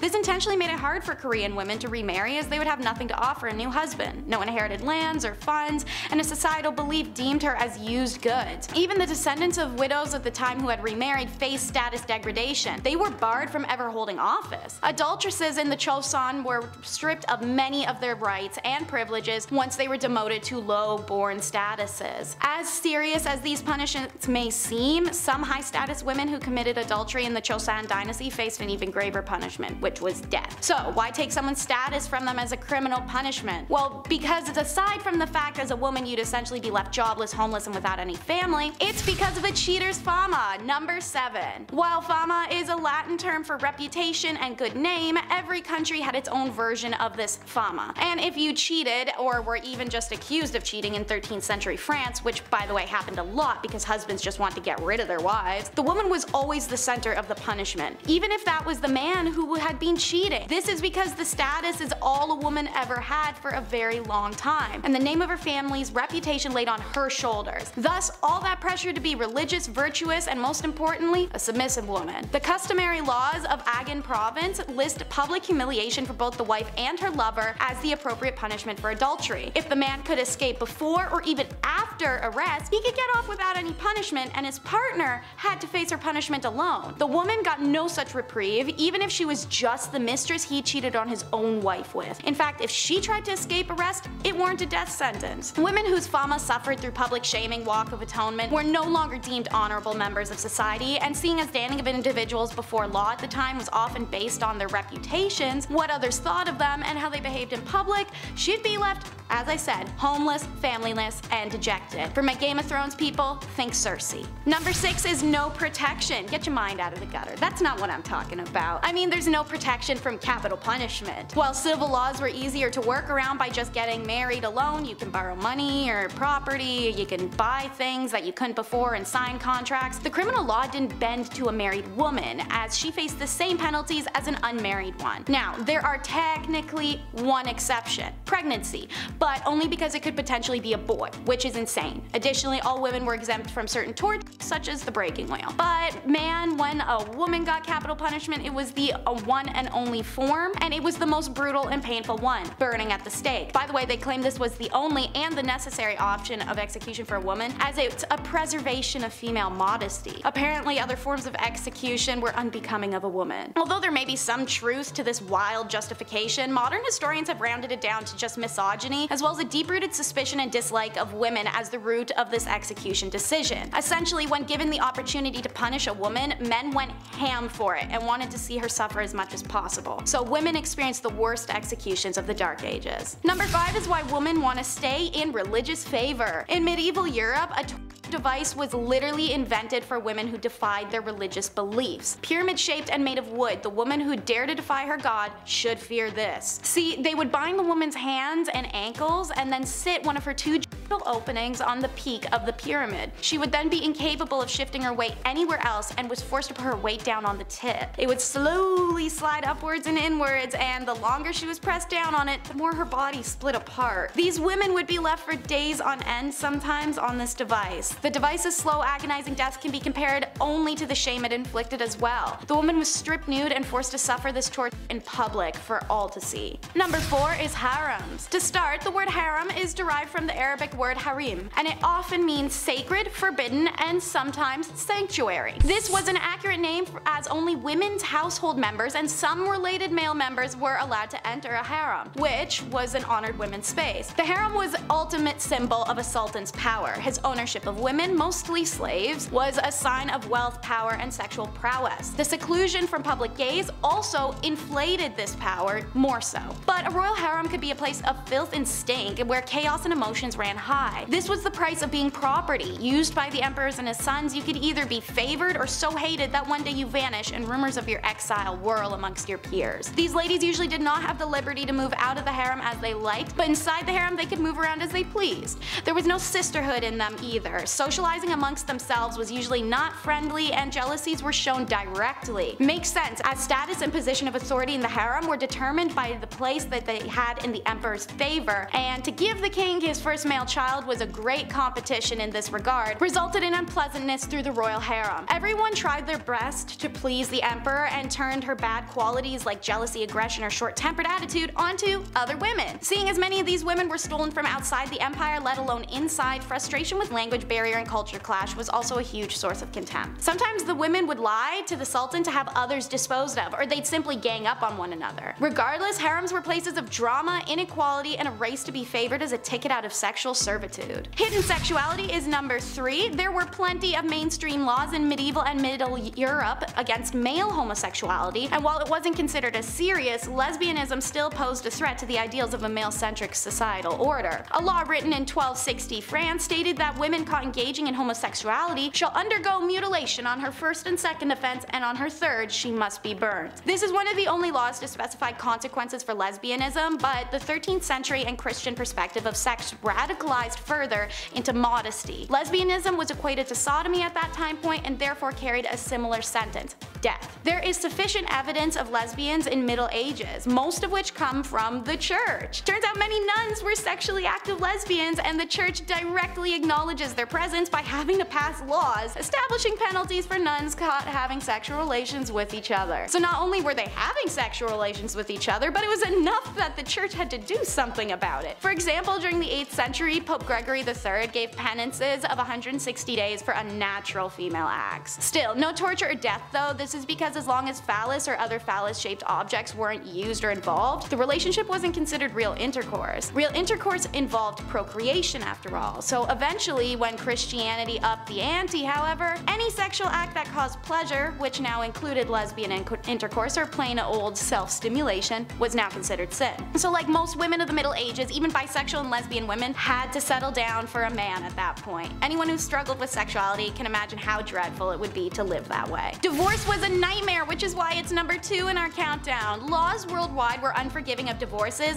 literally always to the woman. In Chinese laws, a woman could only divorce her husband if he mistreated her family, not even her. He, on the other hand, could divorce her for anything. Some accepted grants for divorce were failure to bear a son, evidence of being unfaithful, lack piety to the husband's parents, theft, suffering a virulent or infectious disease, jealousy, and talking too much. A pretty superficial list, but in Chinese society, divorce was a serious action with social repercussions for both parties, so consequently divorces were not as common as they may sound. She could not be divorced if she had no family to return to or if she had gone through the three year mourning period for her husband's dead parents. And speaking of family, during the Han Dynasty, unmarried women brought a special tax on their family and women with babies were given a three year exemption from the tax and their husbands a one year, so there was a huge push to get married. Meanwhile in medieval England, their similarities are stark. They too had a small number of divorces despite an expansive list of reasons to do so, such as there was a discovered blood relation between the individuals, or impotence, or fear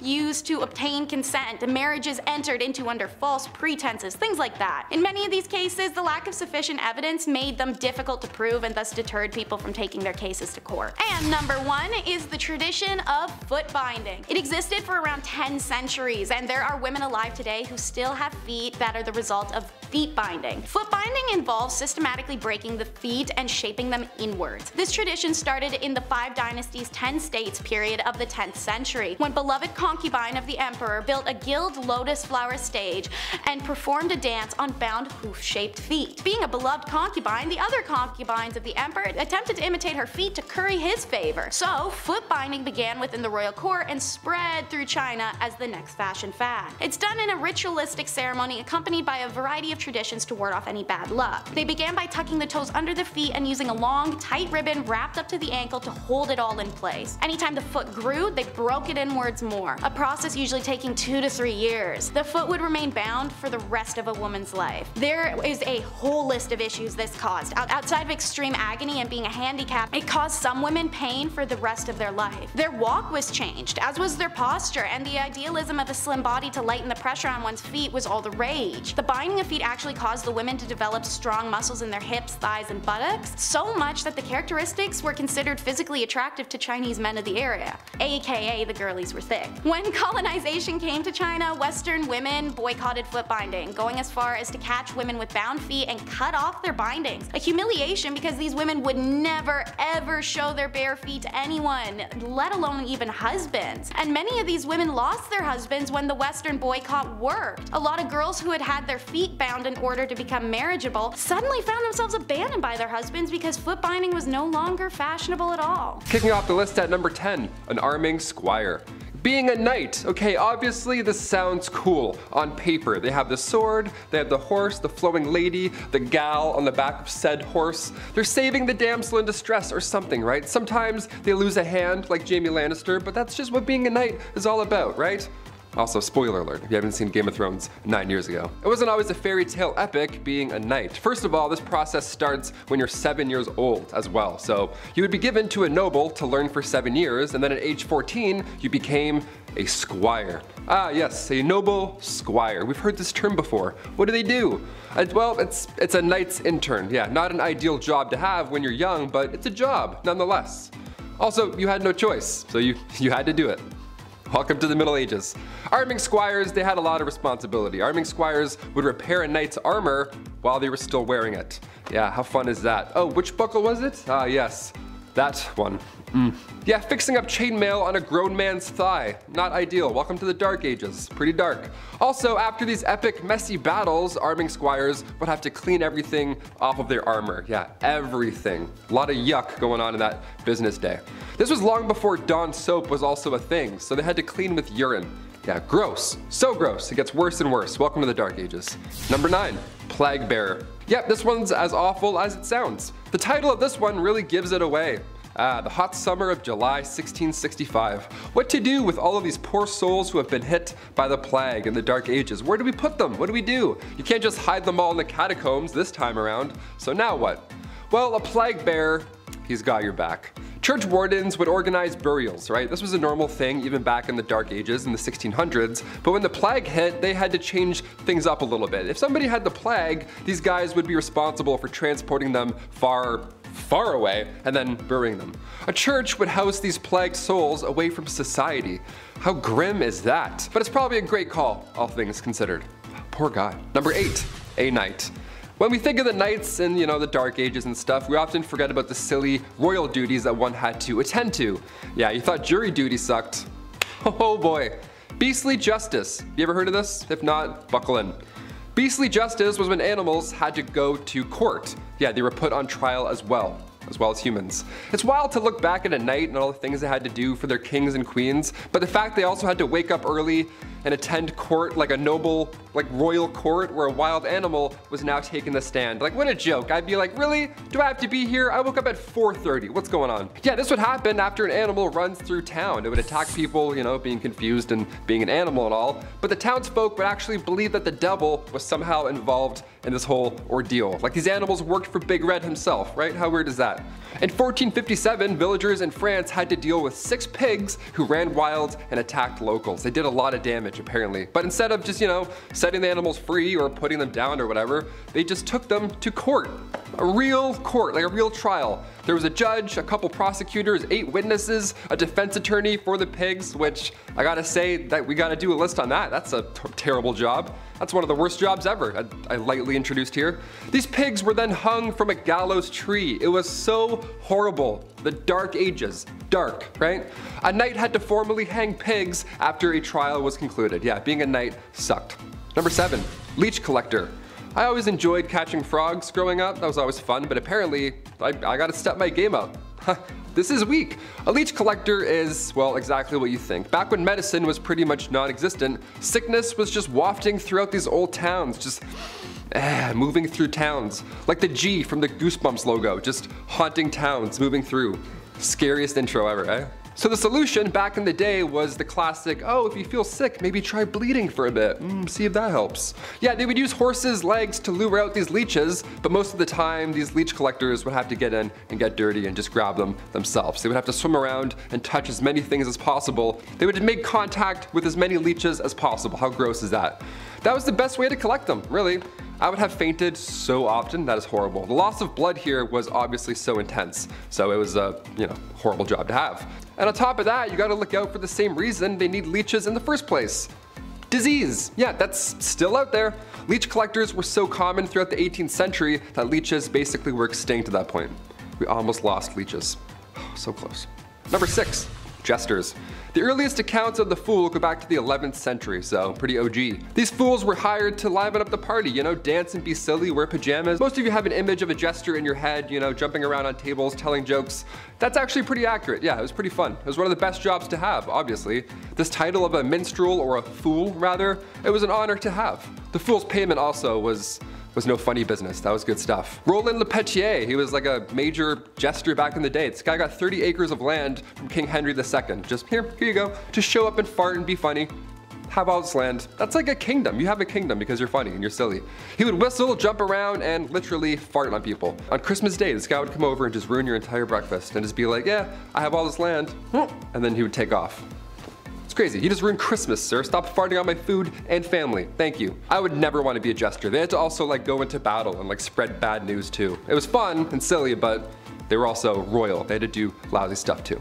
Number five, groom of the stool. Nowadays, higher ups in the office, they have assistants, you know, to grab your coffee for you. Maybe they answer some phone calls, keep the business running while you're off, you know, doing your businessman stuff. Assistants are vital today. The groom of the stool though, that was, uh, huh, that was a bit much. We have some labor laws put in place now. I don't think we're gonna see any online ads opening for a groom of the stool. We'll see though, fingers crossed, had good benefits. Back in the Dark Ages, this role was vital and respected. It was created by King Henry VIII, and this role was to assist the king, and specifically, assist his bowel movements. You had a box that you carried with you at all times. That's where the that's where the magic happened. The dark magic happened in this box. You would literally follow the king around until he needed to go to the washroom, until he needed said box. Porta potties weren't a thing back then, and there's no way you're going to catch that king squatting in the woods. In fact, you wouldn't even catch that king wiping his own behind. That chore was also reserved for the groom o' the stool. Yeah, lucky you, right? In this stool, you would have water, towels, a wash bowl. The whole setup would be in there. You're probably thinking, Taylor, which poor soul had to be stuck with this role? A prisoner? Somebody who lost their sense of smell, hopefully? No, only sons of noblemen could take on this role, and in doing so, they also gain access to every room in the castle, tons of clothes, any bedchamber furnishings, you name it. And of course, a high pay. Always helps. Thank God. That's maybe the worst job in history. Maybe. We're almost there, you'll see. Number four, divorce lawyers. If you've seen Game of Thrones, you've heard of trial by combat. That was the that was the norm back in the day. You know, you fight for your freedom. That's great. But what about divorce by combat? What in the Mr. and Mrs. Smith is happening? Was this real? I can't believe this.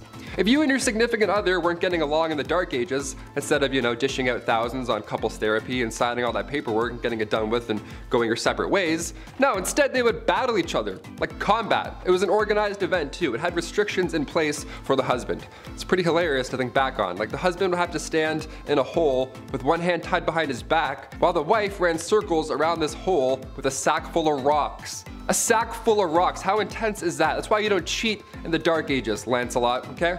Just take the barn, take the horse, take it all, I quit. Get me out of this hole, untie me. Number three, toshers. Toss a coin to your tosher. Here we go. This was one of the worst jobs back in the day, and it wasn't even a legal job. Shh, don't tell. If you don't any, uh, if you don't any toshers, keep, keep their secret, you know?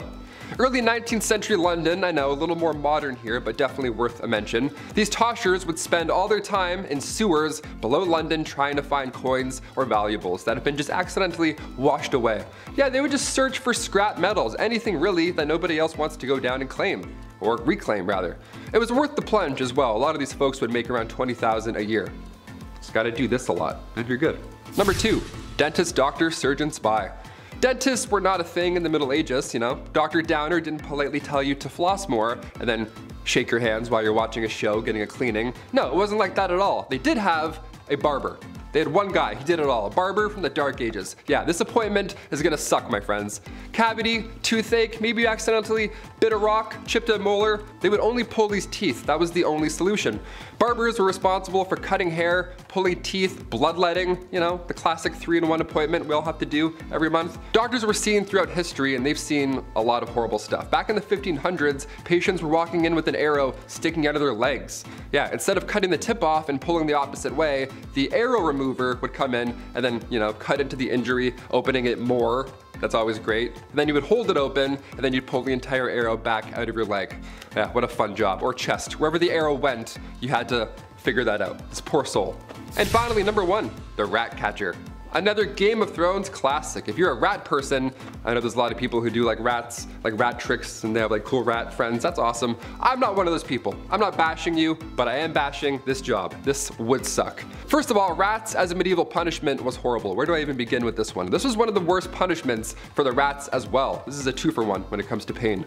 A rat trap involved a man being tied down to something and then a metal enclosure would be strapped to his abdomen or chest. And then inside this enclosure, they were rats and they were also like tucked away. And then historically, they would heat the uh, metal enclosure and the rats would panic and try and get out and they would chew through the softest part, which in this case was your chest or abdomen. It was horrible. It was an absolute nightmare. But these rats had to come from somewhere, or rather, someone. As the name hints towards, rat catchers are one of the worst jobs you can have in, or rather out of a castle.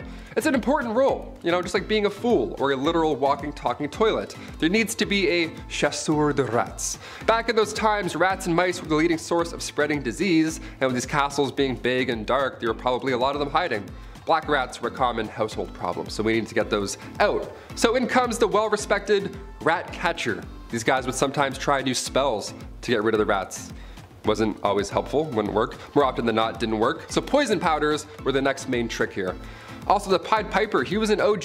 Historically, he would do a musical number to exterminate your pets. If anything, he should be getting a bonus. Any rat catcher, actually, today or back in the Dark Ages, you deserve a bonus, my friend. You're a brave soul. Number 10, carrying a sword. Whenever we see medieval shows or hear stories or see art, everybody always has a sword at their side. I'll admit, on one hand, literally, it's pretty badass. Was this really that common though in the 12th century? Was everyone gifted a sword on their 16th birthday, like in Zelda Wind Waker? No, no, of course not. I mean, if you were traveling, sure, ideally you'd want a little dagger or a little something to help you out, but swords were a symbol of wealth and status. And the bigger and shinier the tune, the better, right? On average, these things would cost you seven months worth of wages. So you best start saving up and training. Yeah, you might want to train as well because these things were not light. No, not at all. Ideally, medieval swords would weigh three to four pounds. Doesn't sound like much at first, but I know after eight minutes, I would be switching arms real quick. It's like when you hold your hand up in class, you're like, oh God, what's going on here? Gotta do some push-ups. In our number 9 spot today, we have the death cage. If you were to take a look at the punishments used in history, it quickly becomes clear that people of the past just really liked watching people die or have pain inflicted upon them. It's very strange, it's very dark, and it certainly is not for the faint of heart. The death cage is just one of the many horrifying punishments used during the Dark Ages. Essentially, this was just one method of execution that was extremely public, as they would strip the person down and lock them in an iron cage that was placed somewhere that everyone would be able to see. From here, the condemned person would be locked in there with no food or water, and everyone would just watch as they slowly died. Unbelievably messed up for a multitude of reasons for sure. Sometimes, to make matters even worse however, the condemned person would also be slathered in milk and honey so that they would also be attracting insects just to make the whole dying process even worse. It's all bad. I'm just thankful that those days are over. Number 8. The summer of 1348, aka the Black Death. Now let's talk about this horrible event, shall we? If you thought summer 2020 sucked,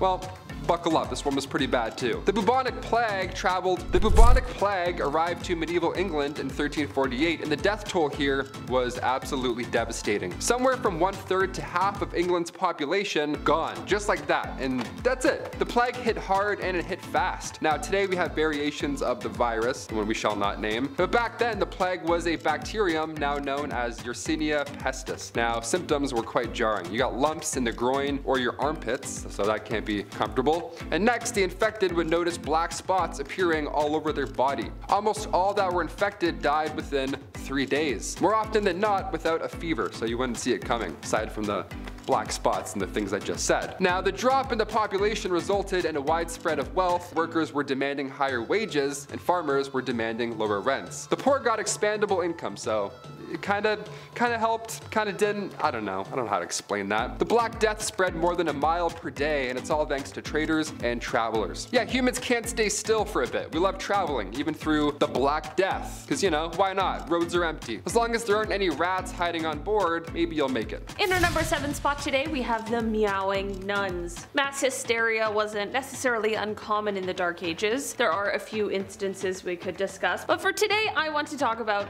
one of my favorites In the book, The Epidemics of the Middle Ages, which was written by J.F. Hecker in 1844, there was the description of a very strange case of mass hysteria that broke out among nuns in a French convent in the Middle Ages. Basically, one day a nun in this French convent started to meow like a cat. I'm not sure why, I'm not sure how this started, all I know is that it happened. And you know what else happened? Other nuns in the convent began to also meow like cats. Eventually it became such a thing that all of the nuns in the convent would meow together for a certain period of time. And of course, everyone surrounding this area was like, what in the absolute heck is going on right now? This is actually a huge problem because in these times, cats were hated. People associated cats with the devil and with disease, so a bunch of meowing nuns was like the equivalent of doomsday. Apparently, the way that this stopped was that the police came and threatened to whip the nuns if the meowing didn't stop, which is definitely one of the weirdest things I've ever said. Number 6. Peddlers. Ah yes, that medieval businessman just wandering along in the pine forest in hopes of not getting robbed, a classic image from medieval times. The Dark Ages were a dangerous game, right? So one can only imagine how hard it must have been for a merchant who travels the countryside for a living to sell goods. In Breath of the Wild, you're like, oh thank god, there's that one guy with all the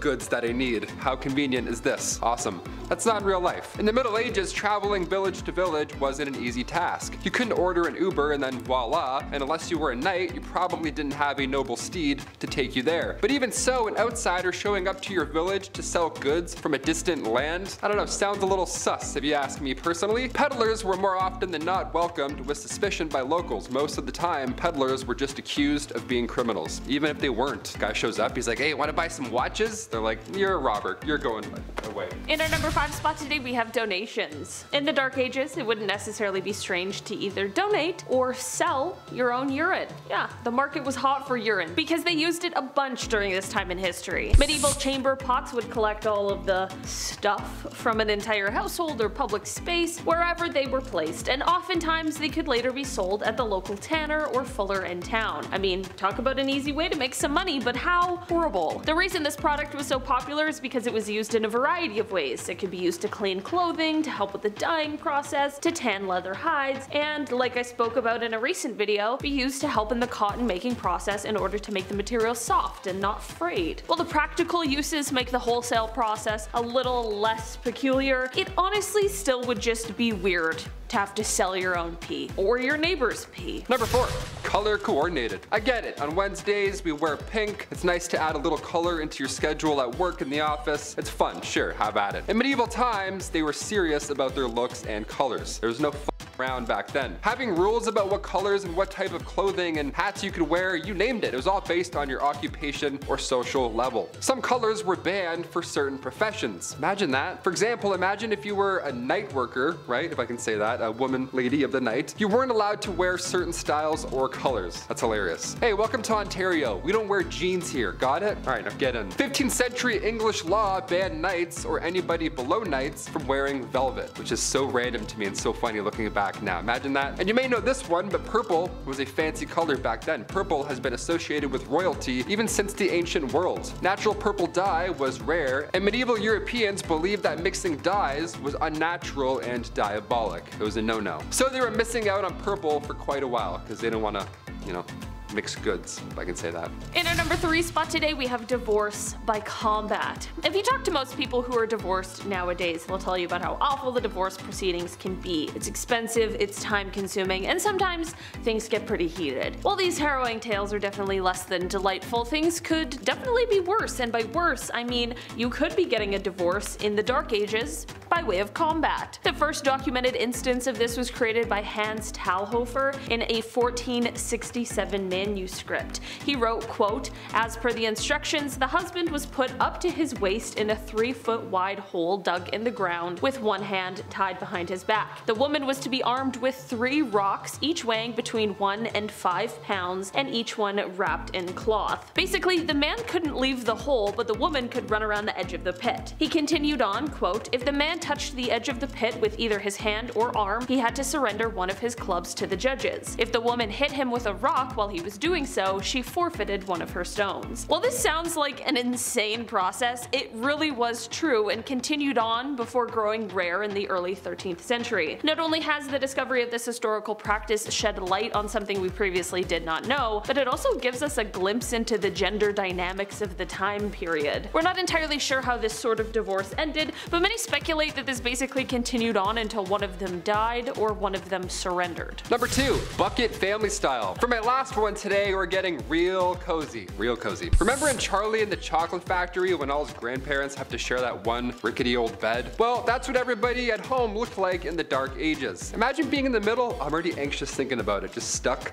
I mean, think about it though, back then, space was so limited. Warmth is also a plus in those winter nights, and beds, they were massive. They were made of straw and wood. It was a whole thing, it was a whole situation. It's not like you could fit more than one of these in your home. No way, Jose. Even in the royal household, this was a common theme. King Richard I of England and King Philip II of France both had to sleep in the same bed as an act of diplomacy. Again, I would be so anxious and awkward there. I'd be like, oh, excuse me, Mr. King guy, you're snoring too loud. In our number one spot today, we have affairs of the court. If you know anything about marriage in the Dark Ages, you know that love was often not a part of it. To sort of piggyback off my last point, if you were in a loveless marriage, like most everyone else was in the time, but didn't want to go through the process of beating your spouse to a pulp or any of the other divorce methods at the time, you could instead turn to courtly love. This wasn't for the common household and instead was for members of the court, but it allowed the lords and ladies of the time to experience love and courtship despite what their marital status might be. Yeah,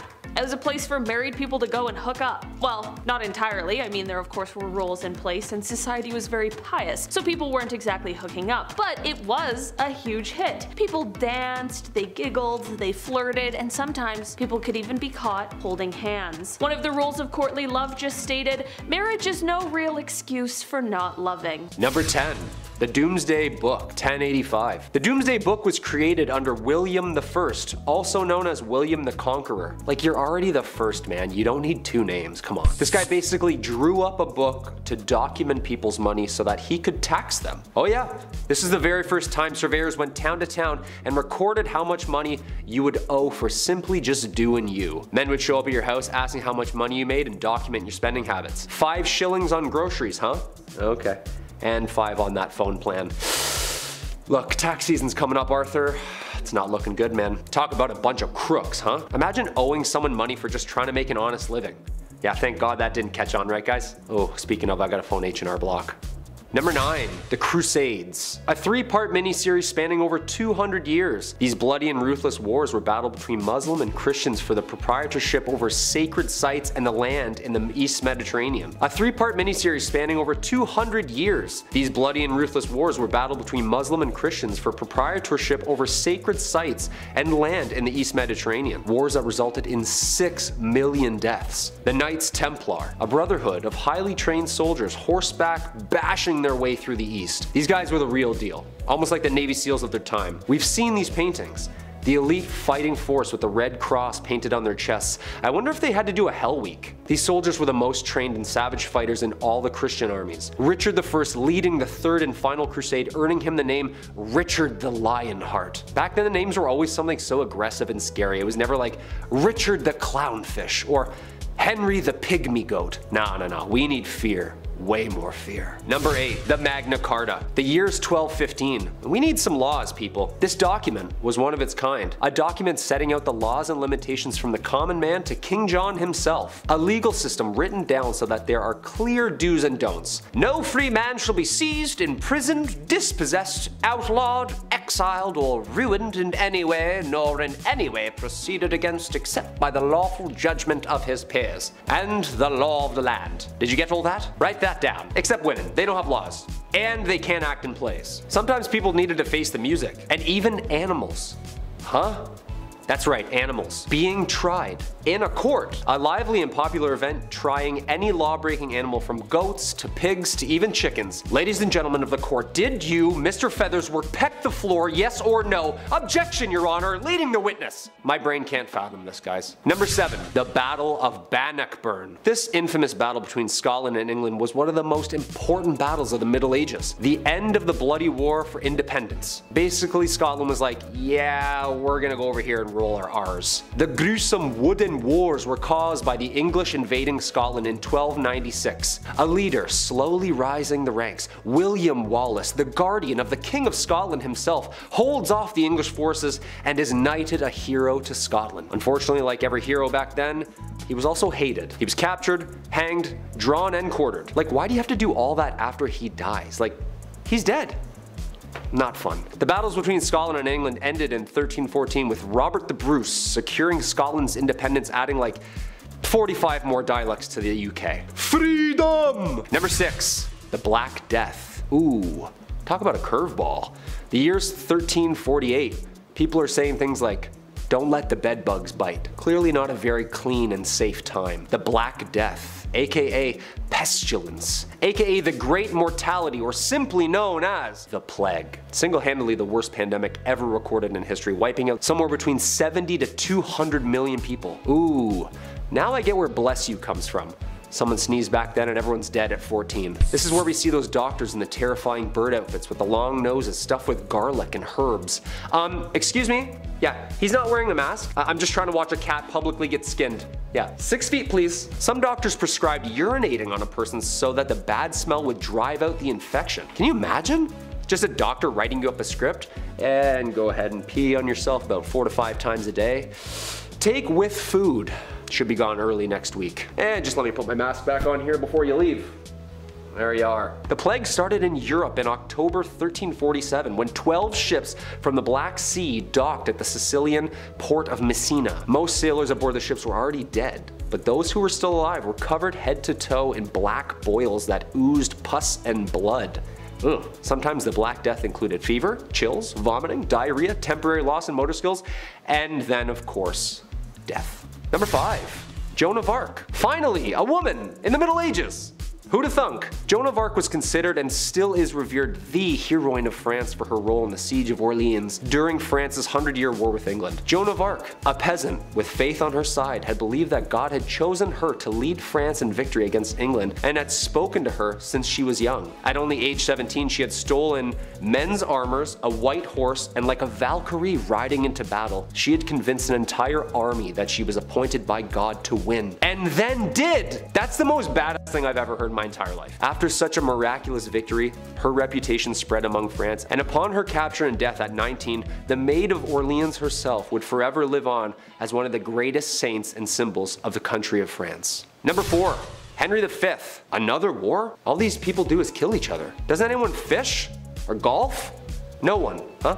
Just swords and heads, swords and heads. A history itself. This time, England beats France. King Henry V, Prince Hal himself, leans into his kingly duties, demolishing France in what Shakespeare would delve into years to come. The Battle of Agincourt is one of England's most celebrated victories and was one of the most important triumphs in the Hundred Years' War. Then should the warlike Harry, like himself, assume the port of Mars, and at his heels leashed in like hounds, should famine, sword, and fire crouch for employment.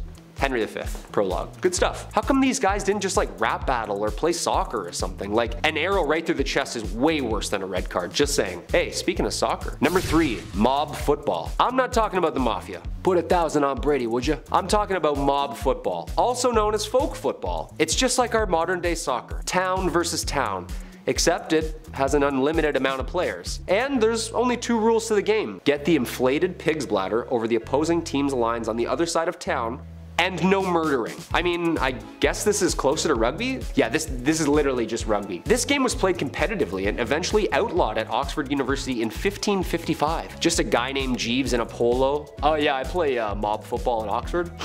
yeah, I'm uh, I'm also in a frat. This game got so out of hand it was banned numerous times in England. There is great noise in the city caused by hustling over large balls from which many evils may arise which God forbid. We command and forbid on behalf of the king, on pain of imprisonment, such game to be used in the city of the future. Thankfully this game has calmed down over the years and now has become the most popular played and watched game across the world. Go Liverpool! Number 2. The Printing Press. The printing press is a machine that was designed for the mass printing of text, mostly in form of books and newspapers. With an unknown date of origin, first invented in China, this machine designed in the 15th century by Johannes Gutenberg was a revolutionary new form of writing which would only change the direction of history with the mass production of uniform text. Eh, long story short, people didn't have to get the world's worst wrist cramp writing Hamlet over and over again. To be or not to be 86 more folios?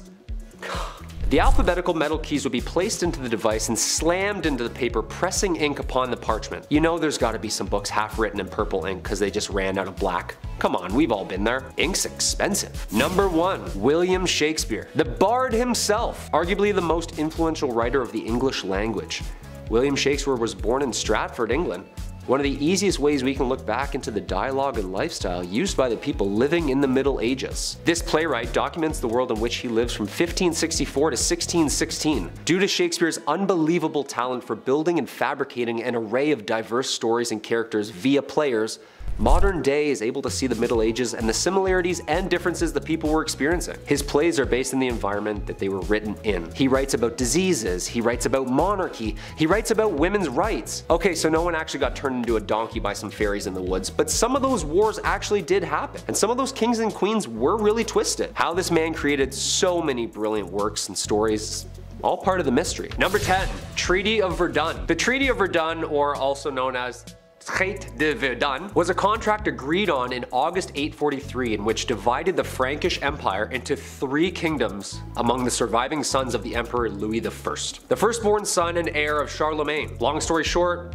all the grandsons were all at civil war with each other about who was getting what, what did Grant promise. The treaty followed shortly after almost three years of wars between the brothers. It was the first in a series of partitions contributing to the dissolution of Charlemagne's empire, and it is seen as a blueprint in which modern societies are based off of. Basically, the brothers all had to split what their grandfather had decreed his own into land. Lothair, the first, coolest name, Charlemagne's eldest son, received Francia Media, or the Middle Frankish Kingdom. Louis II received Francia Orientalis, or the East Frank Kingdom. And Charles II received Francia Occidentalis, or the West Frankish Kingdom. You and I both know the youngest got the most. Come on, I'm just gonna say it right out. Everyone likes to talk about the eldest son this and the eldest son that, but we all know the baby gets whatever they want whenever they want, don't they, huh? I'm looking at you, Taylor. Come here, man. It's true, man. The baby gets everything. Middle child, guy didn't even exist growing up. Didn't hear from him. Number nine, Underground Castle. Big Chet and I are currently replaying Ocarina of Time, so in honor of Hyrule, I gotta include this medieval castle. It was once a residence during the reign of King Henry III. This castle was actually discovered recently underneath a prison yard back in 2015. The old prison castle, we love those. Shawshank Redemption 2, Medieval Edition. Super recent discovery. Archaeologists discovered walls of a castle underneath the basketball court in southwest England at a former prison. Yeah, dudes were shooting threes over top a kingdom and they had no idea. How amazing is that? This was the same castle that played part in the mid 1100s during England's Civil War. The castle actually fell later in the 1400s and the prison was built on the grounds later in the 1700s until it closed its gates forever in 2013. And then we were shooting threes and then we discovered it, of course. If I was a ghost haunting these grounds, I would make make every shot miss. Easily. I would just float near the net, tap the ball away. Like, nice try. Mm. Back to prison. Mm. Number eight, stonemasonry. So we all know about who wrote what and who translated what to what text and which language while writing what play, which was based on who, but who built all this stuff? When we think of the Dark Ages, we can't forget the megalithic Leviathan stones carved and molded together to create the enormous Gothic castles and cathedrals that are still standing to this day. How did people do it back then? Well, masons in medieval England were responsible for building. Masons were highly skilled craftsmen, and their trade was primarily used in the building of castles, churches, and cathedrals. There were three main classes of stonemasons. There was the apprentice, the journeyman, and the master mason. So what would a medieval construction site exactly look like? Well, of course there's the master mason. He's usually the head and the overseer of the work, and he's the most skilled of the tradesmen. This is like the head honcho on site. We've all seen this guy walking around site. He's always angry, he's always yelling, hey, who's got the plans? You, give me those. What are these? Eh, backwards, you idiot. I'm gonna put the window down there. So how did they exactly chisel out all of these castles from one giant rock? Well, mm, they didn't. The stone had to be quarried first from quarrymen. These were not masons. Their job was to get the stone for the masons to work on out of the ground. Local stone was used first, but occasionally stone could travel vast distances, even from other countries. Uh, so I gotta drag that boulder there all the way to Scotland? Okay. Some of the most beautiful architecture ever created can be still seen across Europe. The amount of time and skill it took for these people to have designed, constructed, and chiseled such megalithic sites still baffles me. I'd be trying to read the plan still. Oh, I, that's north. I got the, I got it, we're good. Number seven, apple bobbing. In a time where bodies were literally piling up on the side of the road, I can't believe we got apple bobbing out of the whole ordeal. That's crazy. It seems like ill timing, but it is the dark ages. What can you do? Apples historically have always been a symbol of importance. The Greek golden apple started the Trojan War. Snow White's poison apple was a symbol of importance in literature and all that good stuff from growing up. And in the Middle Ages, apples were viewed as a symbol of romance and fertility. These things have roots, pun intended, of course. In medieval times, bobbing for apples was flirty. It was their version of speed dating, dare I say. What happened was all the leftover apples from the big harvest were then put into a big bucket. Each apple had a villager's name on it, then maidens would have three chances. Three chances to grab that apple with their teeth. Three chances to win a date with the English Tad Hamilton. What a weird time. Can you imagine if this was in Game of Thrones? Reek is just shivering for two seasons, bobbing for Ramsay's Bolton apples. We're like, medieval times were dark. Holy sh. Number six. The feudal system, aka feudalism, was a form of structure system existing in medieval Europe in which people would work and fight for nobles who gave them protection and land in return. A social political system in which landowners would contractually bind tenants to exchange their goods, loyalty, and simple space for safety and comfort within the laws of those ruling. Basically, this is like our renter's agreement now. I'll give you a place to stay and some heat. You give me an unfathomable and overpriced amount of shillings for these extremely low ceilings. Yeah, talk about crooks, man. This system stayed in place for more than a thousand years and managed to fizzle its way out of society somewhere in the 15th century. Not just anybody would ask to be signed to this deal. There was structure and there was order. There was a lord, aka the landowner, aka your landlord, allowing vassals, aka tenants, to rent the land by providing services, especially military services. Yeah, you can stay here, but once in a while we're gonna need you to dump a bunch of boiling water and over that wall. Is that cool? Yeah, you're fine with that. The plot of land, called a fief, was typically worked on by serfs who were laborers who had very few rights and were bound to the land itself. These were the lowest class of people, and they basically did any and all to stay safe on the lord's land. Jobs would include farming, jobs would include cleaning, and was a minimum of three days work to maintain in good standing and remain stationary. Ah, sure, there was no dental or mental health days, but come on, a three day work week? Plant a couple carrots here and there? Eh, it doesn't seem that bad. Number five, fear the dead. With The Walking Dead on their 47th season, I think it's time to take a peek into zombie history, shall we? And find out where this grim idea really started. Well, it's certainly not a new one, I'll tell you that for free. As far back as the early 1300s, residents were buried in the village of Wharram Percy, where archaeologists discovered them many moons later, and they discovered marks on their bones. Cuts, burn marks, you name it. Apparently this was all done after they had passed away. But why? Scientists believe that these injuries inflicted after their untimely death were to prevent them from being reanimated, you know, coming back to life and haunting your village. To keep them in their graves, of course. Unless this dude did something to piss off an entire village that much, they were clearly afraid of this corpse coming back to haunt them. Number four, Studia Generale. This period also saw the birth of what we call the modern university. This was a culmination of material translated and taught to provide a new infrastructure to scientific scholars. Some of these new universities were registered by the Holy Roman Empire as an institution of international excellence, giving it the title Studium Generale, or better known as Studia Generale. Most of the early Studia Generale were discovered in Italy, Spain, England, and France. These places of study were considered the most prestigious places of learning in all of Europe. I bet you this school hoodies were still so expensive. Just someone's old textbook with a mustache drawn on Marcus Aurelius. The listed number of institutions began to grow as new universities were founded throughout Europe. As early as the 13th century, scholars from the Studia Generale were encouraged to speak and lecture courses at other institutions within Europe to share documents and information which led to the current academic academic culture seen in modern universities today. It's a TED Talk, come on. There had to be one cool professor back then, like the guy who lets the class teach itself, orders pizza, has tenure, and hates the monarchy. Number three, medieval taverns. Say you want to grab a pint with the local lads. Where do you get an IPA in the dark ages? Where do we get a six pack of Arthurian ale? Well, this is the medieval ages, so instead of venturing through the woods to hopefully maybe find another town, just ask thy neighbor. That's right, in the Middle Ages, you could brew your own ale. No problem, no one's asking any questions. Give it a shot. In the late 12th century, baking bread was not freely permitted, but making ale in your basement was. Uh, I guess that's great. So the higher ups, the noble lords, they wouldn't care if you made ale and had a block party, but if you made a weak ale, or it was improperly measured and then distributed, then, and only then, do you get a fine. Arrest this man at once. Number 2. St. Patrick. St. Patrick was a 5th century Roman British Christian missionary and bishop in Ireland. Also known as the Apostle of Ireland, although he is the first apostle, having lived prior to the current laws of the Catholic Church.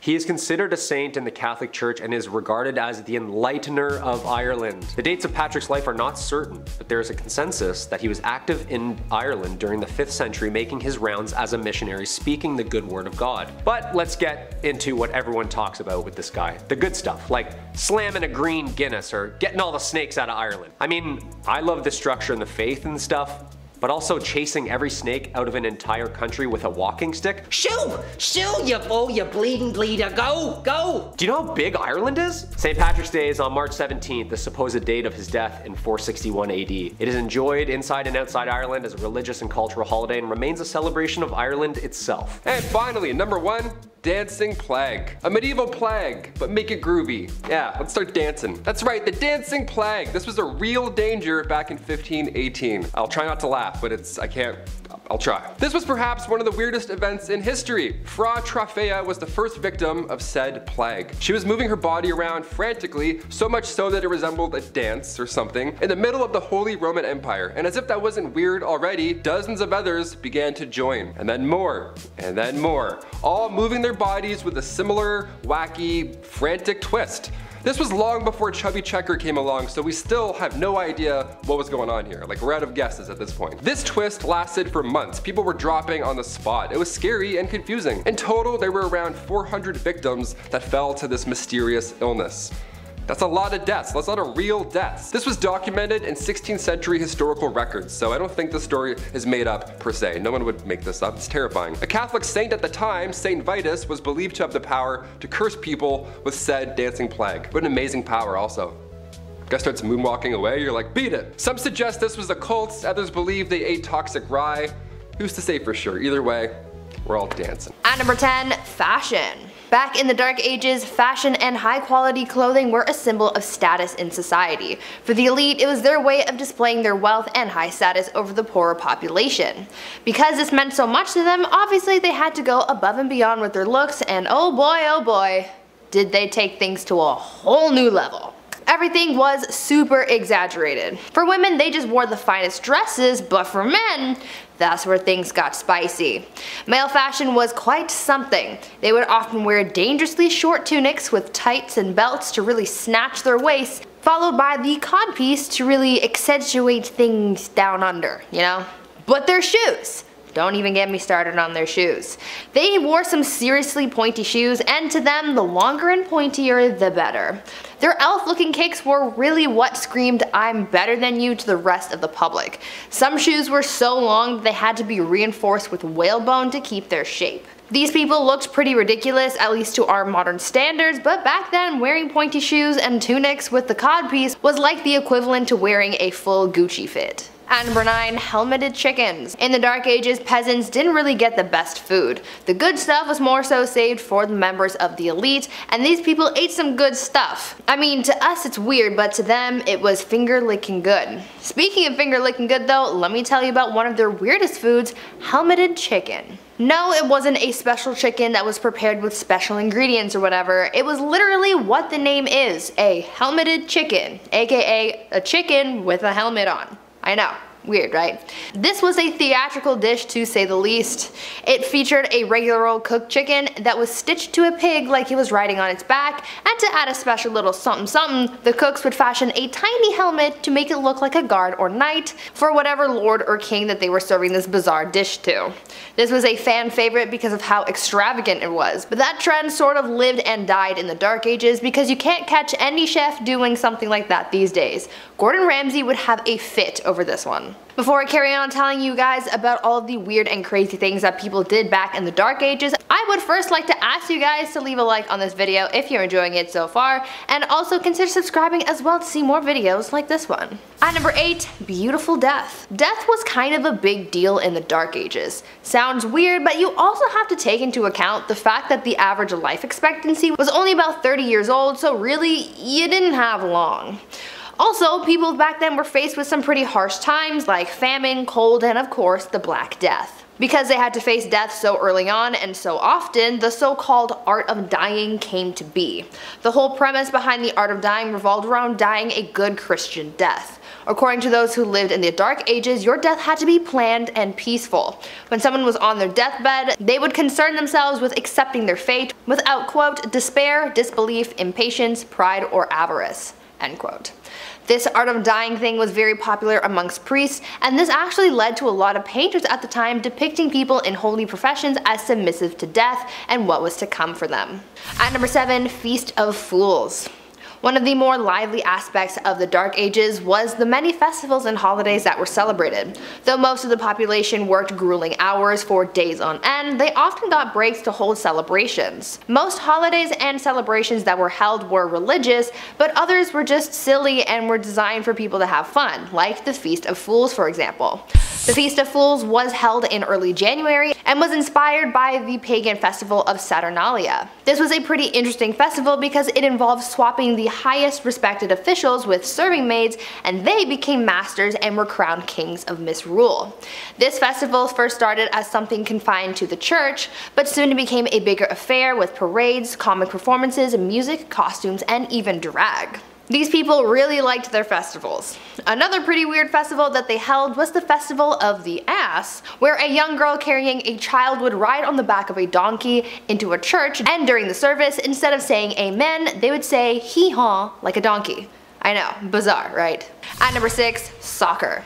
These days, people regard soccer or football as a modern European sport, and though it is popular in these modern times, it turns out that the sport has been around a lot longer than you might think. Soccer was first played back in the Dark Ages, however it is very different from the soccer that we know today. Back then, the sport didn't even really have a name and there were no rules either. The only thing that people followed when playing the game was the objective of winning. Back then, you were allowed to win by any means necessary besides deliberately offing people, of course. Back then, soccer became known as a pretty brutal sport. It was violent, chaotic, bloody, and sometimes even deadly.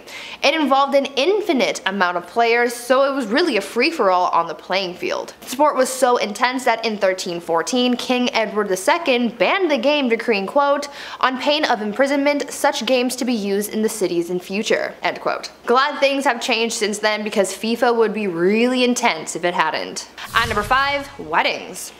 Marriage and weddings back in the dark ages were very different than they are today. Back then, because the average life expectancy was so low, people started getting married and having kids very young. Usually, girls would be married off as soon as they hit puberty, around the age of 12, and these marriages were not for love. Arranged marriages were the norm back then because it was mostly used to join families for status or for alliances.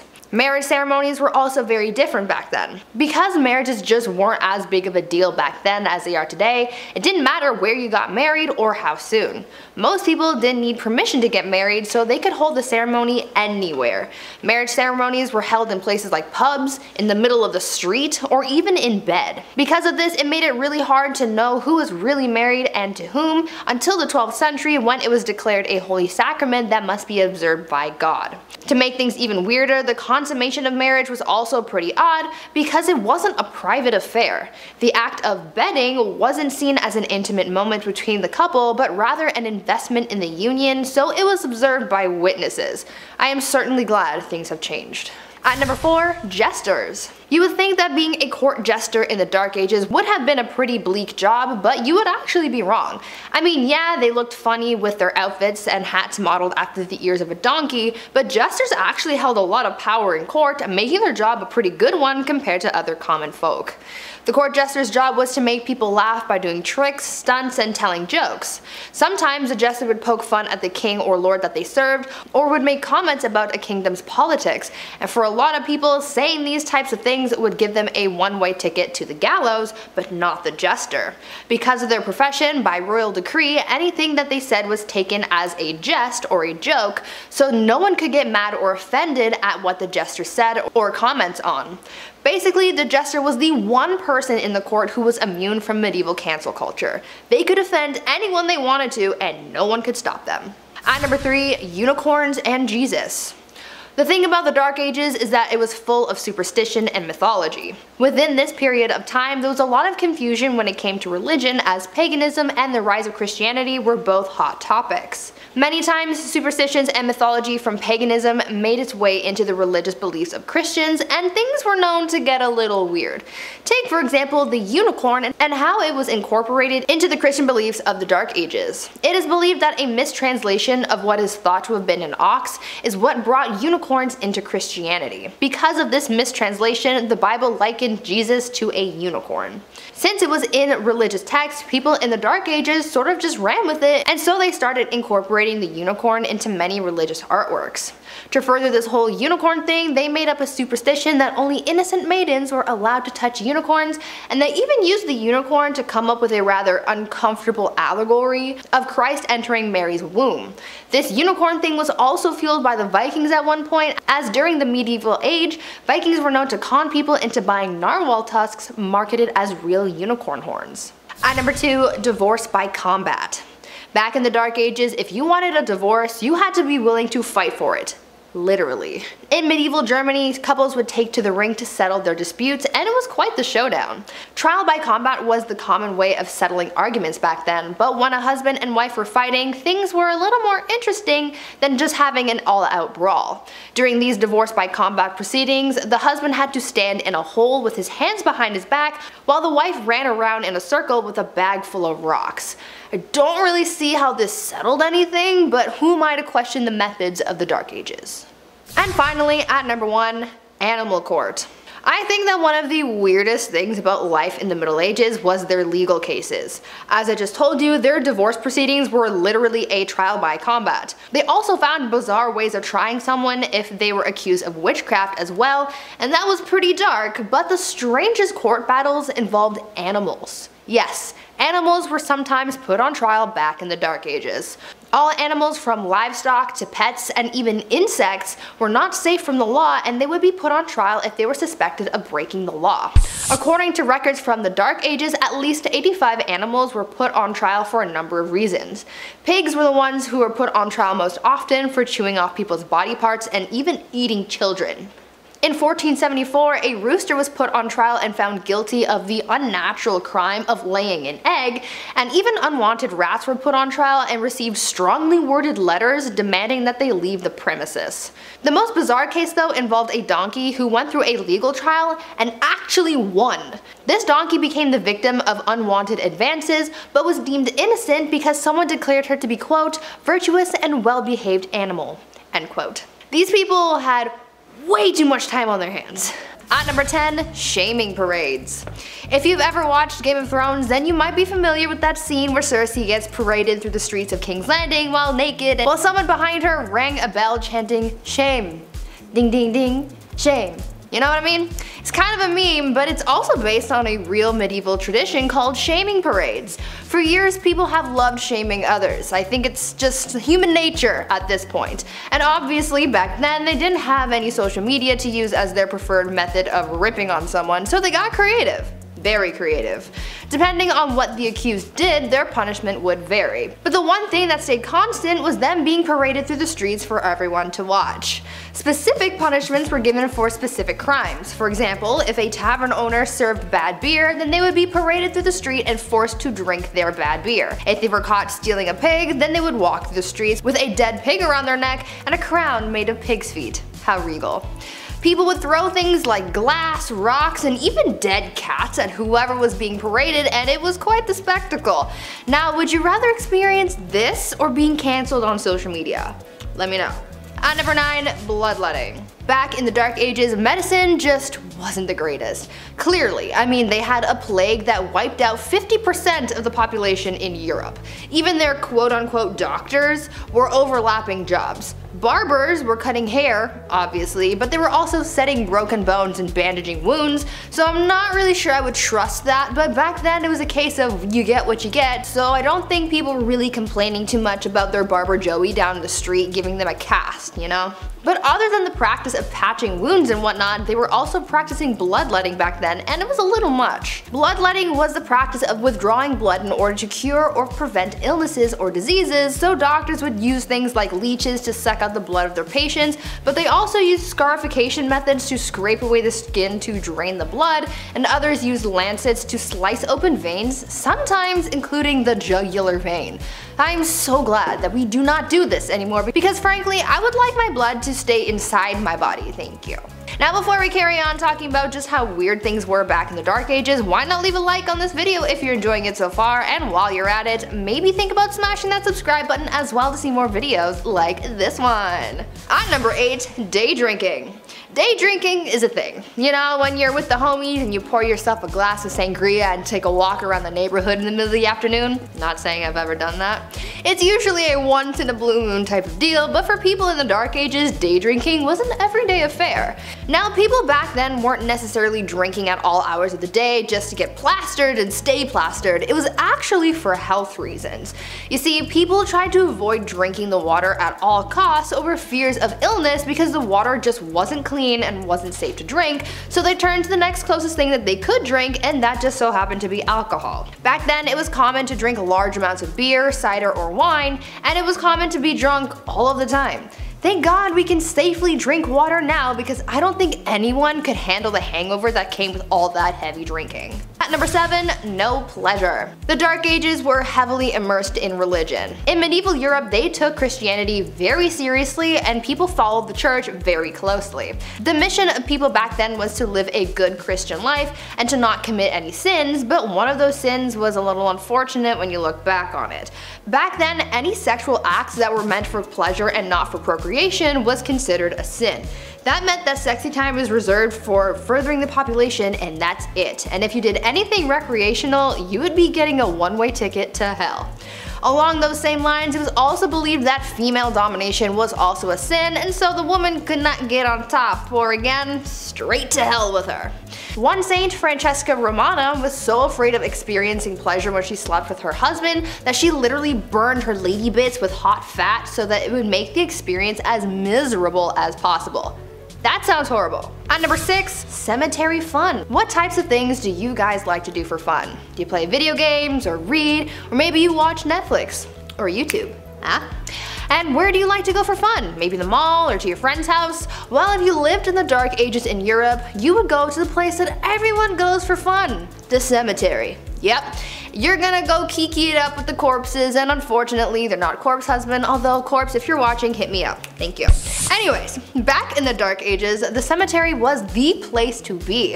It was considered to be the social hub of the community. Back then people held theater performances, elections, trials, and even set up businesses in the cemetery because the graveyard shops were exempt from taxes. There was quite a lot going on in the cemetery, but it was almost the equivalent of going to the mall. But I want you guys to tell me if you would ever be like the people in the dark ages and just go to the cemetery for fun. At number 5, an eye for an eye. When it came to the legal process in medieval Europe, things weren't always fair. I mean, they tried women for being witches and prosecuted animals for various crimes. Their punishments were sometimes swift and just, and other times they weren't.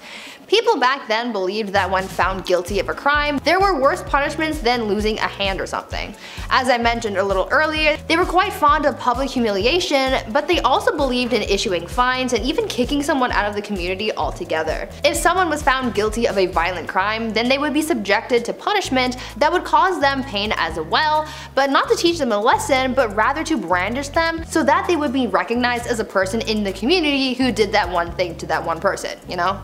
Since these people were very religious, they also had to make up with God for whatever crime they committed as well, so usually that would involve fasting and then it would be up to Sky Daddy to determine if further punishment was needed. At number 4, the King's Evil.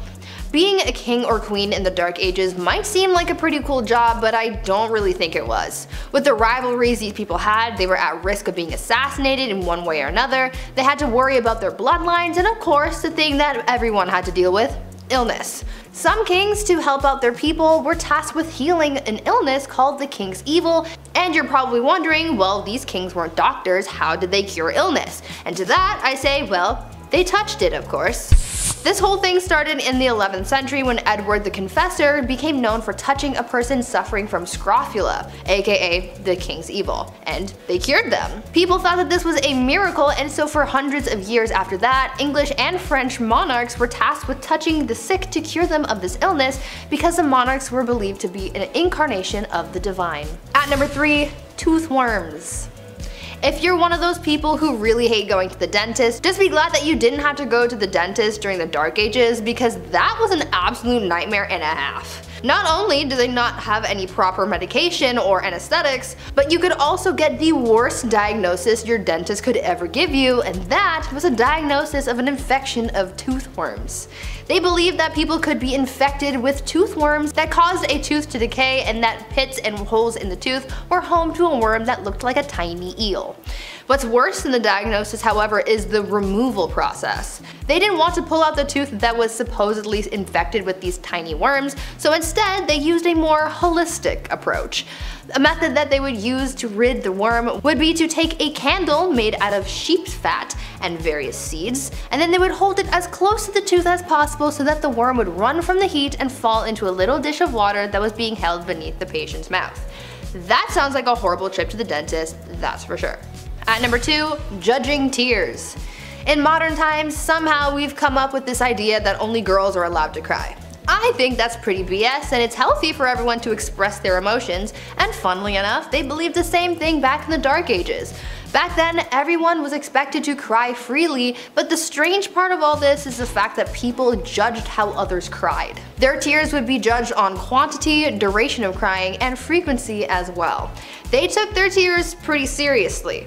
Obviously, when someone was crying because of some kind of loss, it was pretty much nothing, but if they saw someone else crying for a different or unexplained reason, this was believed to have been a different kind of tears called the gift of tears. They believed that this was a sign that someone was thinking of Jesus and his suffering, and that they were so overcome with emotion that they were moved to tears, and this was also considered a gift from God.